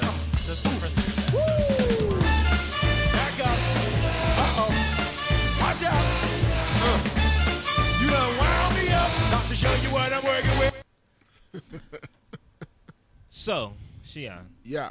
You are an actor, a Mm-hmm. producer, a writer. You do all these great things. Yeah. You're you were on the neighbor. You're still in the neighborhood because it's still going. We ain't, Yeah. we ain't speaking cancellation Yeah. over this song. Period. okay? we we, we are picked up for season three, and we should be getting back. I think around or near Labor Day. See, that, that was that was my question. Congrats, congrats on you. season three. Thank you very so much. with how this whole COVID thing is going and the industry is shifting, Yeah. like I, I know it feels it's got to be a blessing that you're going to be back on set and working with that. So your character, how is it going to evolve this season? If you can give us a little bit, or like, because we know that you ain't got no job, Right.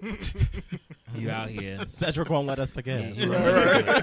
so like, is he is he is he Tommy? Does he work with Tommy? Listen, I I, I think it, it's funny how this character has kind of paralleled like my real life. Um, like sincerely, even t- the tail end of last year, they finally gave him a job working security. Uh huh. I used to work security for a long time, like like a long time. I worked security. Nobody gets more disrespected than a security guard. It's Mm, most I can di- see that. except maybe a meter maid. Uh-huh. Um, that may be the only one. But I did unarmed and armed security. I was okay. Like people won't talk shit to you because I used to carry like two guns. So Yeah. nobody would talk shit. But when you an unarmed security officer, people be like, "Nigga, please." no, I'm gonna go where I want to go. Um, but I, I don't. I don't know yet, man. I don't know what the storylines are. I am. I can only assume that they will have to incorporate Yeah. what the country is going through. And uh, our show is kind of in a unique position where it can kind of deal with that in a very lighthearted way because it is a sitcom. But um, I, I can only assume it's going to tackle the idea of being in a pandemic and a, and a character like Cedric's character having to deal with his son being there 24 7 and deal with the neighbor and Yeah. you know what what that's like for all of us being in this pandemic. And then also you know what's going on culturally um I, I can only assume that we'll touch on it. I hope we touch on it. Yeah, because I was So, gonna say your your show really, um, not so much teeter, teeters in line, but it really shows the idea of race yeah. and affluent neighborhoods and things like that, and especially with the climate that we're going through now, I think it's important that shows like yours are on air and like really have a chance to tackle how we really feel. Yeah. Do you feel like you all may dip into that a little bit? yeah this I, season. I, I hope so i think the first two seasons it was people realizing that you when you're on a sitcom you, you you can only push the bar so far Mm-hmm. But when it comes to things like race, there's there's not much that you really need to say for it to be apparent, right? That it's already on the surface. Um, and, and even I had to recognize, you know, wanting to be like come on, man, let, let let's let's deal with some real issues, Mhm. and they're like, Mhm. you know, we'll we'll have to get there the way that we can get there, but. Even simple things like somebody approached me in the airport. There's there's an old white lady. and She was like, uh, "I had no idea that people used wash rags." Like, what you mean? Like, what you use? Because, because on the show, it was a thing Yeah. that, that we had it. Like, um, uh, Beth, Beth Beth Beth Behrs comes over. She plays Gemma. She comes over and she asks uh, Tichina Arnold. She was like, "Oh yeah, I'm to take a shower at your place." And Tichina gives her a rag, and she was like, "Oh, what's this for?" and Tichina's character was like, "Y'all don't use wash Right. rags." And she was like, "Y'all use wash rags?" So, but it's little things like that that I think help people to open up, hopefully, to a bigger conversation instead of jumping right into the mm-hmm. conversation. Like, let's talk about the word nigga. If, mm-hmm. if- you if you can get there through a different way, then it makes it easier and people's guards get down. So we're, we're able to approach it in a in a more lighthearted way. But I, I, I do think the writers and I hope they all feel a, a certain social r- responsibility to at least try. Mhm. You know, to to go a little bit deeper. What do you? What would you say being on the neighborhood has taught you? Because it does a good job of, you know, giving that black family lifestyle that's very relatable, but Yeah. also like Kelvin said, tackling those real world issues, like Yeah. seeing that the Johnsons are not black. It's Right. like, which is that a thing? Are there white Johnsons in the world? I can't name by one. marriage, probably. Yeah. okay, I ain't like that. Um, but like, what have you learned as Sheaun playing these roles and like reading these scripts? Like, what has it taught you about the real world? I, I, I think much much like it teaches you when you're in a relationship is that people are individuals and they come to the table with however old they are like that much with, with that much of experience in life and you can't judge their experience. And that experience has shaped them. What what what we can all do is try to come to the table and understand each other's experiences without being like you know like when when, when you date somebody I was telling this girl this the other day like I have a pet peeve about people putting like cans and shit in the sink. Hmm like that's not what cans go but if that person's been doing that their whole life it doesn't make them wrong for Yeah. me it Yeah. makes you know what I mean so if you if you meet a white person and a white person doesn't use a wash rag hmm doesn't make them wrong. It also might not make them clean, but it doesn't make them wrong. but that's just that's that's just the way they Yeah. operate. So I think the one thing I, I've had to learn, I, I have learned from the show, is to be even more open and receptive to people and their ways. As long as your ways, as the great James Baldwin said, aren't rooted in my oppression, Mhm. then we cool. You know? Mhm. That's a big one. So, boss level, Yeah. you get to work with the legendary Yeah. Mel Gibson. I never got to meet Mel. You never set. got to I meet him? worked- No, no. I, that's I my question. Like, I was looking how do for you smell? I was looking for. I would have told you too, because not everybody smell like you think they do. Uh, Wow. but yeah, that That's what real. what was fun is uh, I got to work with Frank Grillo, who's, who's the lead of the lead of that movie. Who um, he's a real fighter. Like, like Frank Grillo, you don't want to meet him in the alley. Uh, and the majority of my scene was of him and, and Ken Jeong, Okay. the, uh, the the actor from uh, most known from The Hangover. Yeah, and that dude is hilarious. I love him. Like- I love him on the Masked Singer. He's and the nicest, the nicest guy you want to come across. Yeah. So Can you tell us a little bit about your character? in boss level, I play this neurotic, uh, th- this neurotic dude who's really, um, I think he built like explosives and stuff like that. So Frank's character comes to me because he needs some help on how to. Um, like build something or or detach something like that, but just it was fun to play somebody who who was so far removed. I think from who I am, who, who I, I think I'm a, a, a cool like a little bit, but but this dude definitely was not. He's for lack of a better word, a square. So So no stunts. nah, no. st- I've done a few stunts. So no. St- oh, I've done a few stunts. I Well, thought maybe it was gonna be like cool. flying around or something. The, Right. the Because- first stunt I did, if I can tell them, and just to tell people like what it's like as an actor, before, especially when you don't have a name, or uh, mostly every single actor, unless you come into the game knowing somebody or.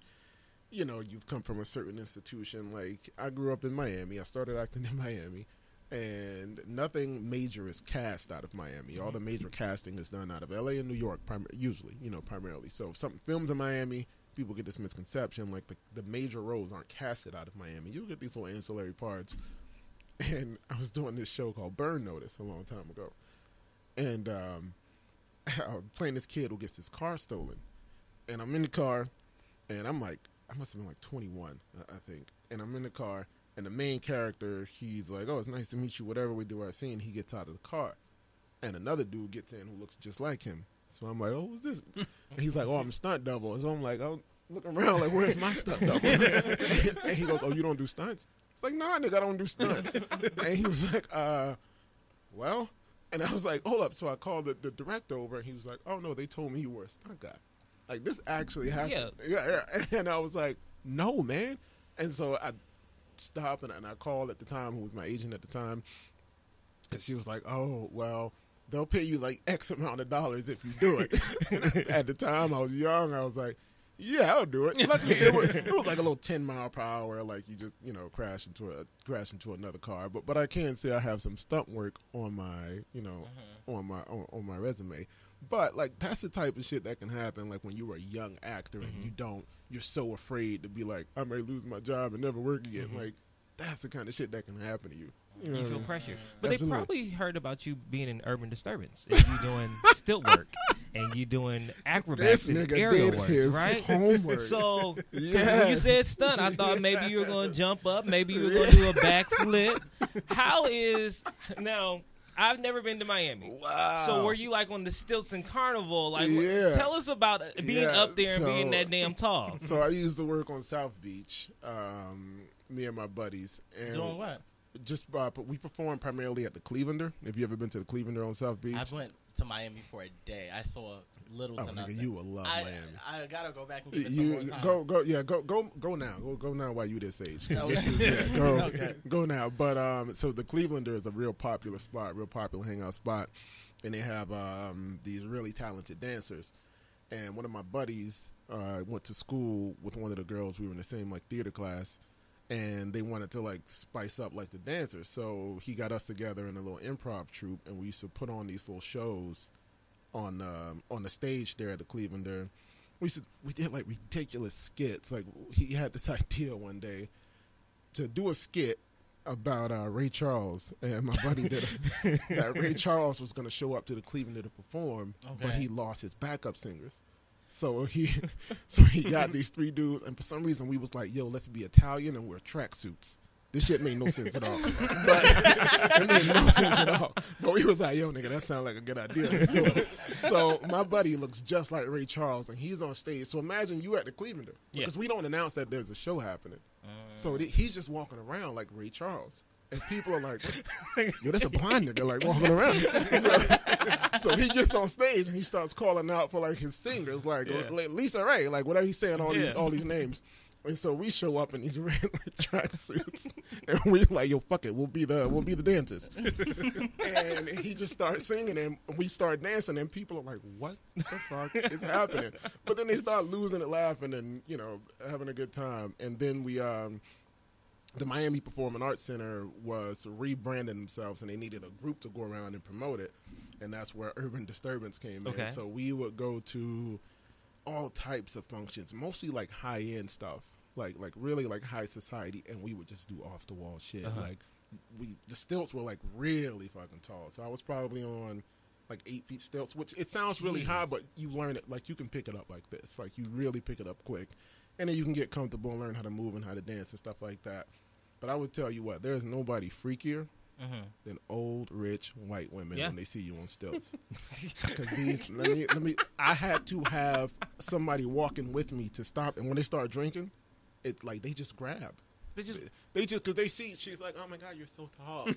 Just, like, There's only one thing for her to grab, Yeah, right? Right. And I'm like, yo, get your hand. Like they just grab, and they will, you know, molest you and, and treat you all types of ways. But um, Well, you know, Cuba Gooding Jr.'s lawyer was saying that taller guys, if if you're taller, you'll be used to being touched, right, but Right. as opposed to shorter guys. Yeah. Makes That sense. Yeah, Right. yeah. He But- always comes through. He always comes Should through. take him on. I So, should. so when you're on the stilts, Uh-huh. like, did you ever fall? Because that's No. that's my that's my fear. Like I will No. fall and like I hit a chandelier, or it's it's something's about to something's about to happen. I never, I never fell. Thank, thank God. When when I was first learning, yeah, and thank God I was in like a padded room. But No, I never fell. And then you learn how to fall. It's a, it feels scary, but you, you really learn how to do it because you're only going to go down one way. Yeah. like you're not going to be like twisting and you're going to go go down and you just kind of like let your body roll into it and it's, it, it looks high, but it's not. How tall are you, Sheaun? I'm six one. On eight foot stilts. Whew, so that would make me What, like 14 feet? Yeah. something like that. Yeah. Jesus. Yeah, yeah. I can't even Jeez. fathom. Kelvin, don't you dare.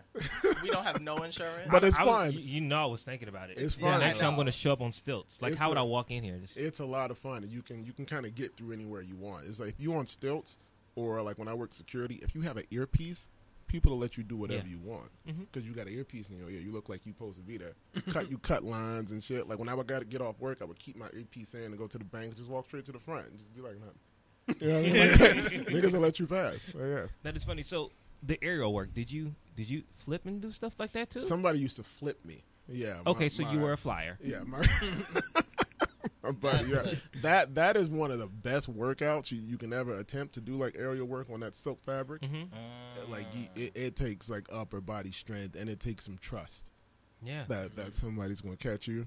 And So, like, because how I'm picturing it, yeah, Pink at It- the Grammy Awards. no, no, no, With the no, no, you know that's you, our you shit. falling I down, wasn't- you I flying wasn't. around. I wasn't going all out like that. My shit was very minimal for, for a very like you know very very short. Just something to add to the resume. Yeah, Something yeah, I can add say I can resume. say I did it. Yeah, Yeah. That is Yeah, yeah, crazy. absolutely. So you're a writer, right?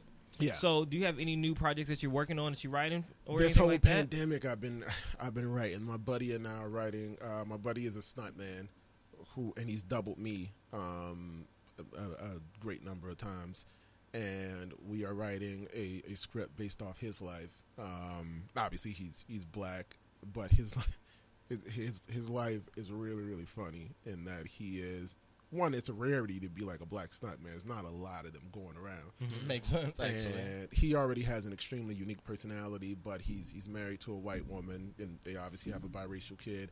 His mother is straight from like from New York, And- but she but she has not changed at all. She still has a very heavy Jamaican accent, and she has no filter.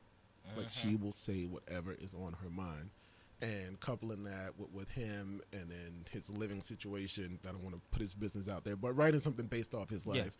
And then um, my best friend and I, uh, Bashir, uh, we wrote a comedic series called Make It Happen, and that did that did pretty well. And we got to the table with a couple of people to pitch it, but we've always, you know, never wanted to let go of it. So Mhm. retweaking that, and then writing my own drama that I've been working on for Okay. a long time, and I'm, I'm, you know, that's my baby, and it it's just has a lot to do with what's going on right now. So Yeah. And so, Yeah. what is the pitching process like? Because I know that you know, as the creator, you come in with a vision of how you want it to be executed. But when you're in Mhm. these rooms, there is this expectation that you will, you know, kind of bend and fold on certain ideas to Yeah. get the sale. So, uh, what is I what are your being, limits? I- I think being be, being confident, being aware of your product, um, knowing knowing the room, being being one hundred percent thorough in your idea and what you're trying to communicate, and the potential of of what you have, and also having more stuff in the bag. You know what I mean? Like going in there with the idea of here's what I'm pitching you. I also have these other things and have those ideas like flushed out because you're, you're talking to people with money. Like there, there are stories of some people, you know, with with privileges going into a room and being like, "Well, I just got this idea," and they greenlight it. Mhm. Mhm. It hasn't worked that way for us yet. You mm-hmm. know, as as a people, hopefully we can get to that point. But just I think for people to be confident and, and understand, like y- you're not going to beg for nothing for anybody. Like, don't mm-hmm. be intimidated. Like, go in and this is this is your idea. This is your product. This is how much work you've put into it. Either they're gonna fuck with it or they're not. Mm-hmm. And I think that's, That's good it. because a lot of people kind of bend on what they want, or like you said earlier, with being a stunt double or not being a Mm-hmm. stunt double, it's like, will I burn bridges if I don't say yes to this? So, what is the what would you say is a healthy balance of yes and no? How do you what level of discernment? I think I, I wish I would have known what, what what I know now and been confident in the idea that I'm a fucking person and I matter. And if I don't want to do this, I'm not going to do it. Mm-hmm. It's that simple. And you know, I think one great thing about this this time that we're in is that those people that have that mentality that I can end or start your career kind of starting to be weeded out. that that old archaic uh, me- me- mentality. But as an individual, as an artist, like don't don't let anybody compromise your your humanity and, and what you're worth. If you don't want to do something, don't do it, or or talk to that person about it. Even like like with, with Snowfall, they the I probably get recognized most from black people about Snowfall, and the first thing they say to me is "nigga." Snowfall, Like, and then and so even even with that, right? Like we were, we, we were like doing a table read. Like I got that part. I had gone in initially, I think, and I read that that script for um, it may have been Damson's role for like the lead role, and they were like, "Ah, you look a little too old." And I, was like, "Oh, cool! Finally, they started. They starting to think I look like I'm I'm, I'm old or I'm aging or I'm like mm-hmm. grown because they kind of don't know what to do with me because nobody knows how old I am." Mm. Um, and then they called me in like a month later, and they were like, "Hey, can you come read for this other part?" And I was like, "All right, cool." I went in. They called me an hour later, and were like, "Yo, mm. you got it. Go to the table read." So I'm like, "All right, Wow. cool." So I go to the table read, and this is my first time meeting John Singleton. Mm-hmm. Like he's sitting right next to me, and I'm like, "Oh shit, that's John Singleton." You know what I mean? Like that's I grew up watching John Singleton, while watching his work. And I remember reading the script, and it got to the part where my character did, you know, what he did and like raped a dude. Mm-hmm. But I didn't know this was going to happen. So as I'm reading the script, somebody's reading like the, the lines in between, and they're like, Carvel gets up and does the unthinkable. So I'm like, what's the unthinkable? and he, he throws him in the room. And then I'm like, let me make sure I don't react because John Singleton's sitting right next to me. And I look up and I'm looking at other people around the table looking at me like, nigga, you gonna do this? and in my head, I'm like, who said I was gonna do this? and so when, it, when the table read was done, I spoke to some people and they were like, hey, listen, usually when stuff like that is in a script, they'll let you know before you even audition, but they had just got the script in, like whatever. And they were cool about everything. But they came to me and I came to them and I was like, this is what I'm cool with and this is mm-hmm. what I'm not cool with. Like, and it's, and it's that simple. Yeah. Uh-huh. Like, you have every right to stand up for yourself and make your voice heard. And you can also do that without being, you know, w- without being, you can be assertive and not be uh-huh. aggressive. Mm-hmm. Got it. You know what I mean? But you, you deserve the right to, to have your voice heard like anybody else. Now, how do you prepare for a role like Carvel? Because, like, I, Yeah. I mean, like, we don't know each other that that well, Yeah. but like, what I know of you is not that. So, like, for you to be, you know, the nigga swinging bats Yeah, yeah. and like. First off, seeing you barefaced, I was like, "Who the fuck is this?" but like swinging bats, and then like the rape scene. Yeah. How do you prepare for uh, a role like that? I, I think uh, I come I come from a theater background and, doing doing a lot of theater, and for for me personally, so far, and and I say so far because I do believe that people find along the way you find different techniques and you find different ways and things that work. There is no one way that that works that you have to stick to. And some actors don't like to hear that. Some actors will tell you that, that that's wrong, and this process is right, and that pro whatever, nigga, do what works. Like, like truly. And some people don't like to hear that, but that's do do what works for you. As long as you are okay and you are sane, do what works, and you're not causing a detriment to someone else. You're fine. But I, I think for me, just finding out what what that person's intentions are, like what it, what do they want, mm-hmm. and if that's a person who says, "I'm gonna get this money, no matter what," if I got to kill you, I'm gonna kill you, and and whatever. Like that's it. I don't care about the consequences of anything. And I think with any human being, like that type of psyche, there's so much that a person can do within the span of like 10 minutes if you don't give a fuck about anything. Mm-hmm. And that's, you know, and then that's all, that's also kind of a, as an actor, it's a fun place to be because during our natural day, like the moment we got, walk out of this door, we have to conduct ourselves within the parameters of the law or we might get killed. Um, and playing somebody who's just like, fuck all that is, you know, wa- was, was one of my takes on it. Now, speaking of Snowfall, Yeah. I'm a huge fan. Mm-hmm. So when you, what I always like when I watch shows like that, I always wonder like, what does the actor think of that character? Mm-hmm. Like when you when you were reading it, or like going through you know whatever scenes or whatever, like how did you feel about Carvella? Did you like, oh my god, I'm about to play a fuck nigga? Like I can't believe this or whatever. Yeah, I, th- I thought he was niggas that I that I knew. Like I, I grew up in the projects, and th- there's niggas like that for real. Like there's people like that that that will take your life in a heartbeat, who don't care. Yeah. They don't care about the consequences. And to him, it, honestly, like to him, like raping a guy wasn't even about the sex.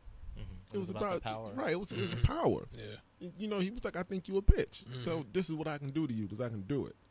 And, you know, like playing my, my first, uh, again, my first approach was somebody who just has no shits to give. Mm-hmm. You know, and that's that's who I think he was. Like he was a survivor. Like I'm gonna do what I got to do to get mine. Mm-hmm. That's real. So I do have a question. Yeah. Because you're when you look at certain actors, and especially like African American actors, Mm. they try to typecast you. So like being on Snowfall, being on in Boss Level, The Neighborhood, Mhm. Vice Principals, which is one of my favorite shows. Yeah, yeah. I love that. You get the you have a very range, a varied range Mhm. of characters you played. Yeah. Which one is your favorite? Ah, man, that's that that's crazy. Well, thank you first for for saying that. I think as as black actors, that's hard. It's hard to get that that range like noticed. So Mhm. you even saying that, like, thank you, I No problem. appreciate that. Um, I, I that that's hard. I think I think Vice Principals was so much fun, and came at a time in my life where I I had just got back to LA. Like you know, like long story short, I, I went back home because I was done being an actor. So I went back to Miami for like maybe like two years, and I was going to become a cop. Like that Mhm. was the plan. And I came back to LA for what I thought was going to be a weekend, um, and and then like three months later is when vice principals happened because God was like, I'm a big person of faith, and God was like, Mhm. this is where I need you to be. And up until that point, I kept trying to do it my own way. Like, nah, I think I want to go do this. I want to do that. And you know, the good Lord was like, I'm gonna let you try your way long enough for you to see, nigga, this is where I need you to be. Mm-hmm. And so vice principals came along like at a point where it was like one of my greatest moments is when I got the word, I got that part because I was me and my buddies used to survive off Burger King and Subway coupons. Uh-huh. Like that's how I ate. Yeah. like, Yeah. like, like, real Yeah. talk. That's, Yeah. that's how I ate. And we, we was divvying up our coupons. I had already auditioned, obviously, and had fractured my hand playing basketball. So I got this cast on my hand, and we, me and my buddies, trying to find the coupons. One of the niggas used two of them and was lying. He knew he used two of them. So we was trying to find the rest of them. My manager called, and I, I literally went, "Yo, nigga, I got to call you back. I'm trying to use these coupons." And he was like, "This gonna be the last coupon you need to use. Like, take this call." Mm-hmm. And then he was like, "Yeah, you got the part." And, and from that moment, I've been I've been blessed to be to be working ever since. And so I feel like that that role will always kind of reflect everything I had been going through, Mm-hmm. and just how much fun we had. Like that whole Rough House crew, Danny McBride, Jody Hill, like. Those are some of the funniest people you Mhm. could ever be around. When, I tell you these white people party, like nigga, I did not, I did not drink tequila. I had swore off tequila because I had a very bad experience. But they like tequila, Mm-hmm. so when I got there, like we were at a party, and they came up to me with a plate of like like shots, and I was like, I don't want to be the nigga that turns this down. and ever since then, now I drink tequila be- because of them. Yeah. You know what I mean? But it, it was so much fun, man. Like it was, it was truly like one of the best times I think I've had, especially on camera, Mhm. like playing playing I Dayshawn. love that. I do want to get into something. I'm sorry. Did you have a question? Uh, my last one, but you could go. Okay, because like you mentioned that you had gave up acting. Yeah, Like you was like, I'm done with this. yeah. What What was that moment that you was like, you know what? My goals and my dreams are bigger than how I feel now. Hmm. Wow, that's a good question. I think when I came back to I came back to LA, I had gone home. I was going through a whole bunch of shit, going through like a rough breakup. And then I had kind of always had one foot out of the door with being an actor because I grew up I have amazing parents who are very blue collar. So I'd always been like you you work, you make money. You work, you make money. And acting was something not to sound like or puff myself up, but that came really easy. Mhm. So, but I didn't really treat it like work because it was like this, whatever. It's just something I do. And I think when I, when I went back home, sleeping on my mama's couch, like I, I Mhm. went I went about three or four years without actually having a bed. I had a couch and then like a floor and then a couple of couches and an air mattress at one point. Uh, God bless that air mattress. Um, but I, I think when I when I came back to LA for that weekend, I was I was auditioning for something, and the producer of that audition is the producer of Snowfall to show you how it all connected. So I didn't come back for Mm. Snow. I came for some other thing that that I was reading for, and I didn't get it. But the guy told me he was like, "You're really fucking talented. You should not go back to Miami." And I was like, "That sounds nice, nigga, but I ain't got no money. Like, you know, whatever." But I was in church and while while I was here for that weekend, and my best friend was like, you know, come to church, whatever, and we're sent down, and the the pastor they go, we have a guest a guest pastor, he's from the Bahamas, and my grandma's from the Bahamas, so I was like, oh, oh. interesting, hmm. and then he started talking about Miami, and I was like. It's interesting. Already, my best friend's looking at me like, "Yo, nigga, he talking to you but you can go anywhere and have a coming to Jesus moment. Yeah. It don't matter. Yeah. But he keeps talking about like all you have to do is act on your faith, like activate your faith. Mm-hmm. So I'm now listening to his message, and he keeps going in about how like if God needs to, he will he will move whatever he needs to move out of your way. All your other obstacles will be moved. Eh, you know, he sent floods. He sent uh, you know people to stop wars. He sent earthquakes to shake up the world. And he says all this stuff. You just have to act on your faith. And he ends his sermon by being like, you know, if, if God needs to shake your world up, he will. If he needs to send an earthquake just for you, he will. And I went back to my manager's apartment that night, sleeping on his couch, and a fucking earthquake woke me up. Mm. This is a true story. Mm. Earthquake woke me up. And I immediately ran outside because I'm from my. I can deal with hurricanes, nigga, but earthquakes. so I ran outside, and I forget that there was a house guest. There was a girl, and she was like, "You gonna leave me?" And I was like, "I forgot you was in there." So, I get back in. My best friend calls me. He's like, "Do you need any other like confirmation?" Mm-hmm. My next phone call in the morning. I know it is long, but my No. next phone call in the morning was from one of my homies, and he was like, "Yo, I heard you're in town. I need somebody to stay in my apartment until I get back. I may be gone for like two to three months. I just need you to hold my car and like feed my cats." Mm-hmm. And I was like, uh, okay. I don't know how long I'm going to be here because at the time I was just waiting for a call to join the police department or see if I can get into an academy to get into the police department. And so I was like, yo, if I get that call, I got to go. He was like, all right, but just just stay here for now. I'm leaving in the morning. I was like, all right. So I go to his place and I'm I'm living back, literally living back in L.A. like rent free.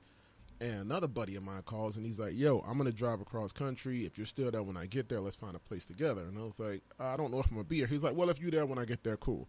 So I'm like, "Damn, okay." And so then I was like, "Well, if I do stay, I might need a job." And I used to work security, um, not around the block from where I live now, and um, and so I called my old security company, and they were like, "Oh no, we got new management." And right before I hung up, the lady was like, "Wait, are you are you Sheaun McKinney?" And I was like, "Yeah." She was like, "Oh yeah, we we have your info. We need a supervisor. Could you start like tomorrow?" And I was like, "What the fuck?" Mm. I was like, "Uh, okay, you know, wh- whatever. I'll, I'll I'll see if I can." So long story, me and my buddy ended up getting this apartment. We had no furniture except a bed that that I got on the way in. Some girl was moving out her boyfriend was moving in, so she was like, "Oh, we need a bigger bed." I was like, "I'll take it." So, and it was brand new. It was like a month in uh, her her bed. But my first piece of mail was an acceptance letter into an academy, Mm. to the Police Academy. So I was like, the easiest thing I can do is to go home, and I, I'm, I'm good. Anybody can jump on this lease. Like it's fine. It's month to month. They would have been fine. And so I remember just being like, not to be cheesy, but you have to act on your faith. Mhm. Like, what you gonna do? And so I put the paper away, and I remember going to my first audition after that, and realizing how much fun I, I, I had had in the room. And I didn't get that part. I got really, really close. It was the first time I, I what they call tested for something, and I remember just being like, "That's like literally that's why I started acting." Mhm. And in that one little moment is when I realized, oh, this is why I needed to come back, or and this is why I needed to go through all that bullshit that almost broke me, Mhm. so I can get rid of that and be present in these rooms and have as much fun as I have. And then, you know, my next audition was was vice principals, and it, it changed like changed my whole life. Hmm. The power of walking in your purpose Amen. Yeah. and knowing that what you have is greater than what you believe you have. Amen. That's that's deep. Yeah. That's dope though. Yeah. I don't even think I need to ask my question. well, I have one final question. It's a hard question. Unless Yeah. Chris has a question. You have a question? Mm. I have a really hard question. Okay. Very controversial. Yeah. Okay. In your grits, Yeah. Oh my god. are you a sugar or you a salt and pepper? Ain't no reason to put sugar in grits. Are you I, kidding me? I knew I liked you. Are you kidding me? Who put sugar in? Harry, you put sugar. Absolutely. I liked you. Nigga, that's cream I of wheat or oatmeal. No, Like, no, I put it in grits. I used to put it in white rice. Like, wow. White rice. My mom did it. I didn't know, but as a kid, I was not trying to eat that without it. Like, I don't like Really? White rice is so bland. It's not though. It is.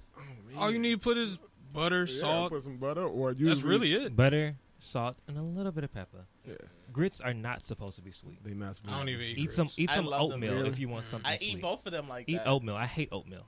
Oatmeal's Really? texture is the nastiest texture. Is it, It's bleh. good for you though. It's disgusting. I'm not a crazy texture based person. Like, texture doesn't throw me off of food. Like, where people don't like mushrooms and flan and stuff, I'm not like Yeah. that. Yeah, I don't like, oh, flan okay. either. Ugh. Growing up in Miami, you gonna like flan. Like you. you That makes sense. No, that yeah, texture's you'll like, mm. It's like weird. wet cornbread. Yeah. Yes, nobody yes, I don't want no that's really good. cornbread. That's really good. That was good. Before we move on, though, I do want to say I'm very proud of the neighborhood. Mm-hmm. So I work for CBS, and we distribute the neighborhood all the time. And there's so many black sitcoms that we do get that we never pick up after first season. Like it's mm-hmm. just it's we it just doesn't happen. So I want to say that like I'm proud of the show. I'm proud of you. I'm proud of like.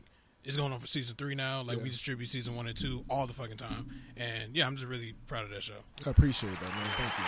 Thank you very much. We love to see Because when I say it's so many black pilot shows or whatever that we never fucking pick up, Amen. and the neighborhoods on season. I think this pro- this might be the first black one that's got to like season three. I feel like that I can remember at least. And you wouldn't even know that that was a thing because you don't see these sitcoms. Like I feel like You now don't. there's more of an influx, and then like we have this burst of nostalgia where everything's back on Netflix. But it's like in terms of new content that's not being recreated, you wouldn't even know. that And it's to a be on thing. CBS at that. right? Yeah. Yeah, I had to I had to drop it down because the I camera know. couldn't see I knew Sheaun. what was going on. but I just But, want um, them to hear you. That's Yeah, all. so Gotta that's- hear your voice. that was good. We let Sheaun's interview kind of carry us through the show, but um, okay. Is it was- 12? it was well worth it. It was Basically, Oh, definitely worth wow. it. it was well worth it. I hope y'all got some gems in listening to It was this. a lot I of I gems did. dropped. Absolutely. That I'm going to pick up and take throughout my week. You want to take us to the question of the day? yes, it's time for the question of the day. Question, question, question. Okay, I just played three times for it, That's fine. just because. To annoy so me, I'm sure. yeah, to annoy you. Yeah.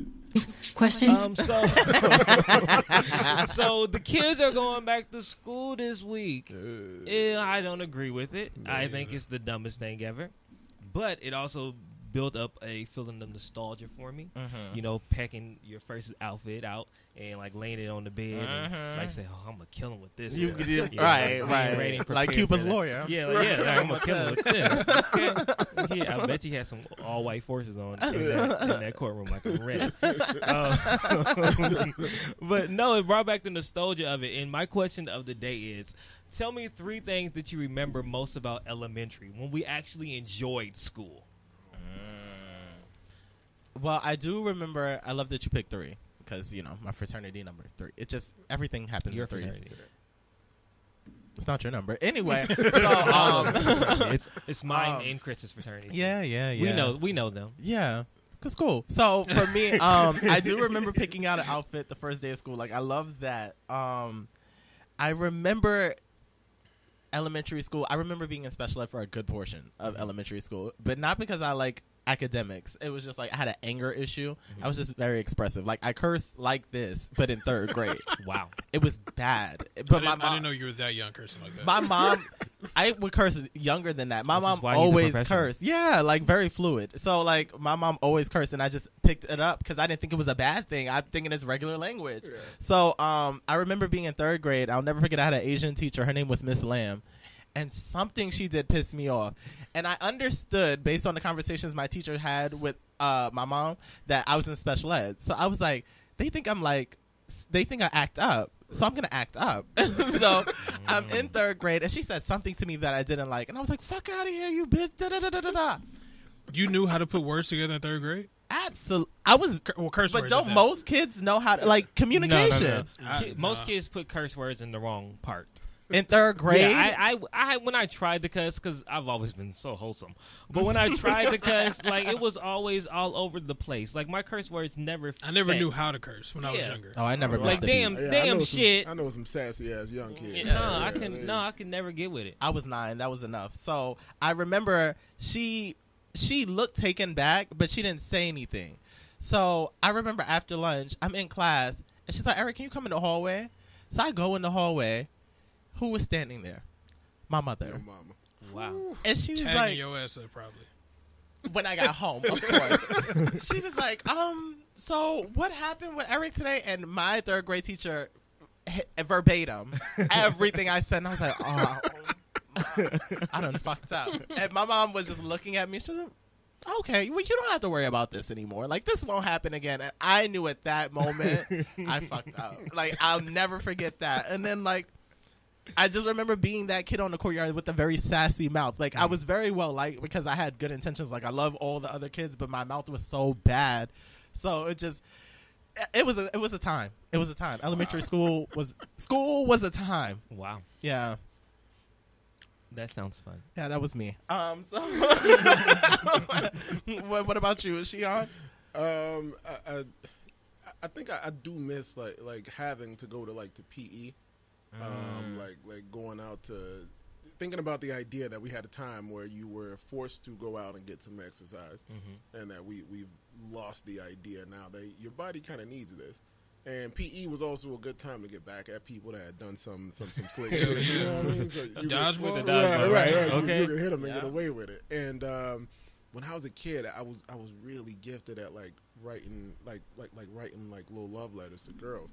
One of my secret hi- hidden talents. If anybody needs a dating profile written, I'm I'm really good at writing dating wow. profile. Well, Like really really good. and- I only have one sentence in mind. Mine, I know what is, yours uh, is. Will you marry me? Right, right, right, right. Mine, That's it. That's all you need.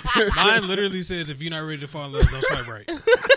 it's just one sentence. Chris, that's like pussy repellent. You're scaring the girls. No, I'm You're not. scaring I them. get matches off of it. I don't. Maybe they're like. it literally just says, "If you're not ready to fall in love, don't swipe right." He sound like a nigga that's gonna take me to He- Sizzler. he's desperate. Swipe right. Dinner tonight. On you, of course. right. That's funny, but yeah, that's that's that's, that's probably it, man. PE and then writing little love letters and yeah, man. Just you know, as a kid, you're just going out to play. Like that's it. Mm-hmm. Carefree. Yeah. You remember in PE those? uh This is this is something that I just thought about. You know those little like, it's like a I know those what you're talking about the little squirt. that the little go squirt, and you run on your knees. Yeah. Oh yes. Those yes, I remember those. Those used to be. Now I fucked up my hands one time. Like I was, I, I wasn't holding on to it. I was just like letting go, and I just happened to put it and I rolled into my hands, but whatever. Um, and then I remember my first love was in elementary school. Her name was Harjita. Did you propose? What was Wait, her name? Wait. She was Indian. Wait. Oh, I'll her- never forget her name her. was Harjita? Harjita? Harjita. She was Indian, and I remember she had like the the thing Oh, right here, okay. and I used to like always like tap it, and shit. Like I used to like always ask like, "What is this?" Wow. Was that acceptable? No, no She it, didn't- It wasn't I mean, acceptable she didn't then or mind. now. No. She didn't mind. We were, we were what? How were we in third grade? Nine. Yeah, Wow. nothing. I mean, she didn't. She wasn't tripping. Um, Did she What love you back? I think. I think. She I just to- remember. I remember I switched schools, and then I was like, do you know who talked she is now? You should find her, bro. I'm about to say yeah. Right, that might I be don't the even. one. But how do you even spell one. Harjita? I don't You even come remember. back and you tap her. right, and right. see if she remember. Uh, that's. Um, what else happened at elementary? Uh, I almost got into my first fight in elementary. I ran though. Oh, Chris, Mm. Yeah, that's okay. yeah, that's it for me. Wow. Doesn't define you. Yeah, th- that's not. That does not. I think um I remember my first black teacher, uh, Mm. Miss Davis, in the second grade. Yeah. She was a Delta because she had all them elephants, and I now today I know why she had all them elephants, but back then I didn't realize why she had them all. But it really just really set a tone for how I viewed education and black people being educated because I went to a very mixed race elementary school. And everybody was just doing the most, but to see her like be like real firm and stand tall on that, that was really dope for me. And also like I miss art class. Like I'm, I suck at drawing. I suck at all these arts and Art crafts and stuff now. But like, we had really good art class, and then like I guess we had a budget cut, like somewhere like around like fourth grade or something. So then art became like mobile. She had like a mobile art cart, and she used to pull up at the, at each classroom with her mobile art cart, and we used to do the dumbest arts and crafts and stuff like that. But I remember that and like music class and like just mm-hmm. Y'all simple. music stuff. class? Yeah, we had music class in elementary. Same. Yeah. Yeah. It was such a wide array of things that you could get into. Yeah. It- I, yeah. Now miss listening those to you, I remember that. and it makes me kind of sad to think like students don't have art no more. They don't have like music and stuff in schools. Like that's music and stuff probably saved my life. Like if I was not in the choir and then I go to outside of choir, like my performing arts organization, I probably would not be here. Mm-hmm. Like I'd probably be like on the block. I'm not the greatest gangster, but I probably would have been like on the block or like doing something stupid. Like and that, that like those memories like of elementary and like really like finding like this is my passion, this is what I want to do, or like this is what I thought I wanted to do. All came from like elementary school and like from the teachers there, and like I was blessed enough to be nurtured enough in elementary. So I had some good elementary school memories. That's good. I love I'm that. sorry, I got a little nostalgic. No, as you should. I think that was the point of the Ran a little- question. Ran a little question. That was good. But that was it for the question of the day. Question. Maybe we can hit that. If I told you that real quick, real quick. It was specifically chosen because you are Sheaun McKinney, and it falls right on brand. Um, so today's "If I Told You That" is: if you had to be stuck in a TV show for a month, what show would you pick, and which character would you be? You asking me? I'm asking. Oh. The collective. Yeah, so take a second. For me, at this point in life, I would be Khadijah James on Living Single. Oh, that's a good one. Yeah. you want to work for Flavor? Excuse me, you don't want to work for Flavor. You want to would own, own it. Flavor. Yeah, just Okay. like in the sense of owning my own media space where I can take it whichever direction I want to. Let it be multimedia and just like being in a brownstone and you're with your friends and you're living in your 20s and you're dating and you're just learning yourself and being everything that you want to be and building that person. I think that that's such a vibe and it's so black. It's so cultured. Like I, I live for that energy. That's a good one, Eric. Yeah, you see all your friends doing well too. It's just that's life. That's good. That's a good one. Um, I, I would keep it in the same fashion, maybe like uh, Kadeem Hardison in a different world. Okay. Mm, Just okay. as that, that that show itself was such a movement Mhm. for the education of black people Mhm. and making education in college look really, really cool. And there was a lot of fine women on that show. I'm not mad at bro. Uh, yeah, probably Kadeem Hardison in a different world. I would need to raid your closet. so many good fashions. All the all the cardigans. Absolutely. yeah. Absolutely. I'm gonna pick two. I'm gonna stay in the in the same fashion as well. I'm gonna say Frank Mitchell on uh, Moesha. Really? would be a Frank You're Mitchell. fucking toxic. A horrible You're ass fucking parent. Now wait, toxic. now what- mind A you, horrible I ass never parent. watched Moesha before. Like I just started watching it as soon as I got back on Netflix. Uh huh. that nigga is Horrible. that, that he is a terrible father. Insensitive? Like he is a horrible father. With great intentions, but the No, he doesn't. No, he doesn't. I think he had great intentions. He wanted his daughter to be that as nigga best had as she me fucked be. up. I was watching the episode yesterday. That nigga had me fucked up when uh, remember when Miles was uh, about to be in a commercial Mm-hmm. and, he got, and he got his first check. That nigga was about to keep his son's money to pay bills. What? Yeah. I was like, this nigga is fucked up. He was flawed. Right. But Oh that, that speaks to like parents across the world. Like we have these high expectations, but they're just humans trying to figure the shit out. Frank won it's, shit. It's foul. Frank Also, won shit. I've also co- coined Moesha a hoe bitch. somebody, somebody told somebody told me that he Wait, called her a hoe. I haven't got there yet, but somebody told me he got, called her a a hoe hoe. bitch because Why? she always wanted to know where the hood niggas at. And she always went after these hood niggas, and she always was fucking around. With, well, wasn't fucking around. We lead up to fuck around with a hood nigga and then let him go. So, Well, we don't know if they then- wasn't fucking around. Cause remember they was at that round table and uh, they was like, "You was up in my daughter's room." Oh, uh, yes, Q. Q never said they didn't fuck. yeah, Q Oh. never. He said never that. said they didn't have sex. But allegedly, Moesha didn't lose it till college. But also, she was a bitch. Because See, I didn't like Mo. I don't like Moesha. Nobody does. At all. when when Frank bought her a car, And, and she got mad as fuck got talking about I want a I uh, want a Jeep. Jeep. I wanted a and he, and he bought her a, A he bought- Saturn. uh, mind you, it was paid off, Right. brand new Saturn. And you and then she got that hoopty. That hoopty ass tank like, looking dog. Jeep. She was a horrible ass friend. Yeah. she didn't Trash. want when Kim w- got the cheerleader. She was mad that Kim was Yep. the cheerleader and she didn't get it. Her and Niecy was uh, Talking talking about shit she, about was, her that she was fat. Yeah, Yeah. she was fat. Yeah. Um, it was just a lot. I don't Moesha- remember none of this. I Go thought back she and was watch You it. gotta go back Yeah, and see, watch I've never Go watched and Moesha until it came on Netflix. When you watch it, uh, you see why. Bro, um, mm-mm. Moesha ain't shit. At all. Yeah. I'm gonna say you see why Brandy album didn't do good. No. Oh. well, Brandy, It saw uh, that repressed energy from Moesha. From Moesha. Brandy, the opinions expressed do But not you know mirror I love everybody Brandy at the table. because table. No Tomorrow's my shit. That's that's my shit. I want to meet her one day, and I don't want to pull this up. I don't want to pull this But up. the, Pull it uh, up, Brandy. Pull it up. No, it's fine. go, go ahead. The second show I would pick is uh, Jack Pearson from This Is Us. You just want to cry every day. I mean, it's one of my favorite shows. Love This Is Us. I've never seen. I'm sorry, no, no, not Jack. I want to be Randall. Okay, Sorry. but see with Jack, my bad. I meant Randall. I've never seen that. He, it's, Randall, Randall, like. Randall is the most compassionate person on television. Hmm. he is a prime example of how black love should feel and how it should walk. and how a hmm. father should be. Yeah. Because like, it, oh yeah. So you want to be both show. spectrums of dads. Yeah, that's you what want to I'm be like- a trash ass dad. If I had to pick a character in Moesha, I mean, I would I would be Frank. If I if I had to pick somebody, Mm-hmm. I wouldn't be Hakeem bum ass. Like, He was young trying to figure it out. no, Damn. he was nah. when Hakeem had to get a job because his parents' lights was off. Yes. Moesha fucked that up too. Yeah. Oh, she was mad about twenty dollars. And then she Where's went my twenty dollars Yeah, like- in front of everybody. God damn it. You owe me twenty dollars. Was she I- really that bad? She's Yes. horrible. Go back and watch it. You gotta go I'm only on season three right now. And I was like, She gets worse. Wow, how Oh did this? How did this have six seasons?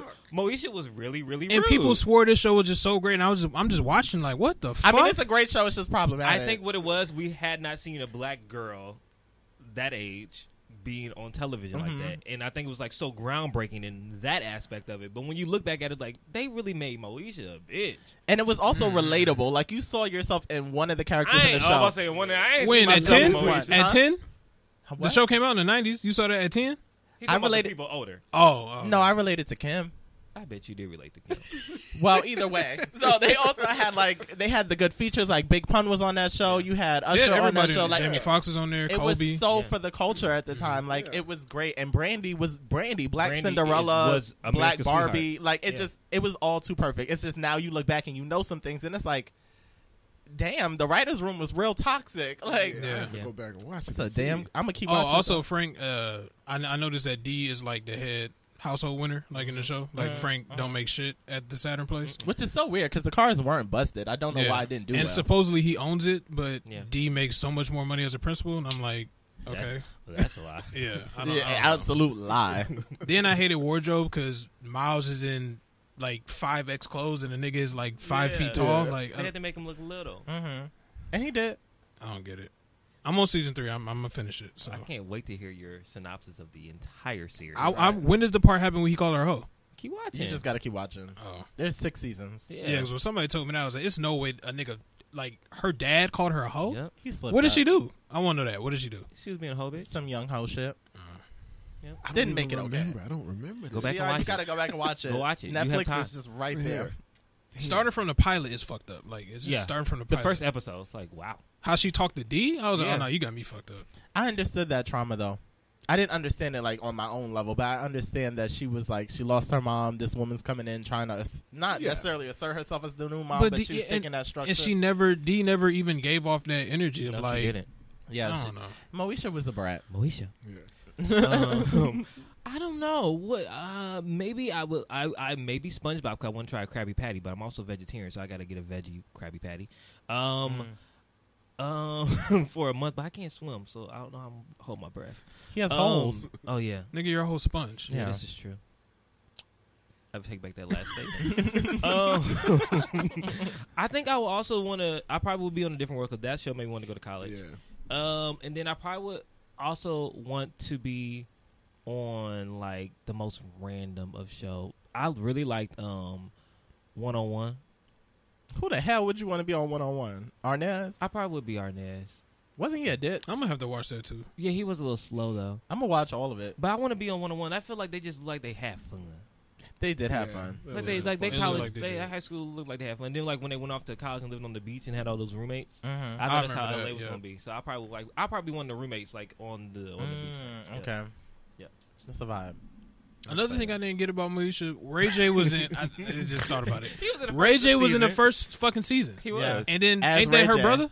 Yeah. And then they find out that that is her brother. He but was his in name season one. Yeah, he was in season one. He was in season three, and then then he gonna be brought back for season four as a whole different. character. I hate when shows do that. He had to test them. Like we stupid. But I, yeah, like I, just hate when shows do that. It's called, a con- it's called a convention. I hate when shows do in, that. In the world Don't bring the arts. same nigga It's on called to a play a budget. whole different nigga. Like I hate when shows do that. It's called Sonja Norwood. That's what it's right, called. right, right. right. She said, you gonna "No, have my babies. Brandy's working. Ray You're J working. needs to work. but man, we just haven't figured it out. Ray J.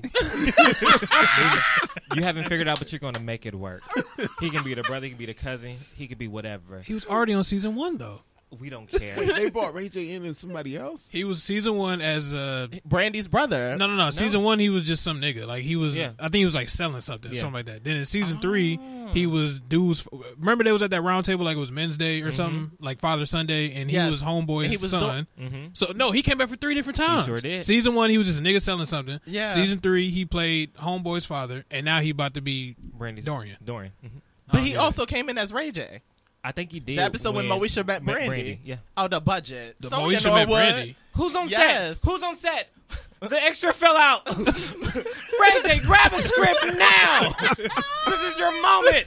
Wait, what you mean Moesha met Brandy? There was an Moesha episode where Brandy. Moesha meets Brandy. Because Moesha didn't sing on the show. Kim was the singer. Moesha tried to sing and she was horrible. That happens on the show. Yes, Moesha meets She Brandy. Does, does Mo, like does Brandy Because- play Brandy? yes. Oh, because my God. before Freestyle Unity, Kim CPQ. CPQ. Oh, I remember- Okay? yep, CPQ. They tried to re- they tried to record, and Q and um the other two was singing back up, but Brandy wanted to be part of it. So, Moesha wanted to be part of it so He's bad. She wanted to be the manager. He's a yeah. player. He's a player. it's like Brandy, what happened? like so, yeah. And then like she wins tickets, and she meets Brandy. Kim is supposed Wow. to buy tickets and then spends the money on an outfit.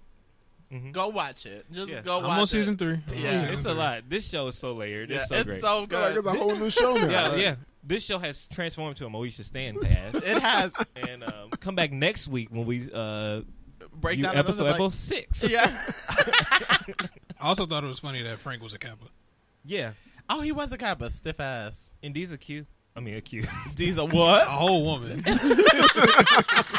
D's a Delta. Is she? She's a Q. I didn't D's- see that on Well, well, Sheryl is a Delta in real life. That's why she always has Oh. on red.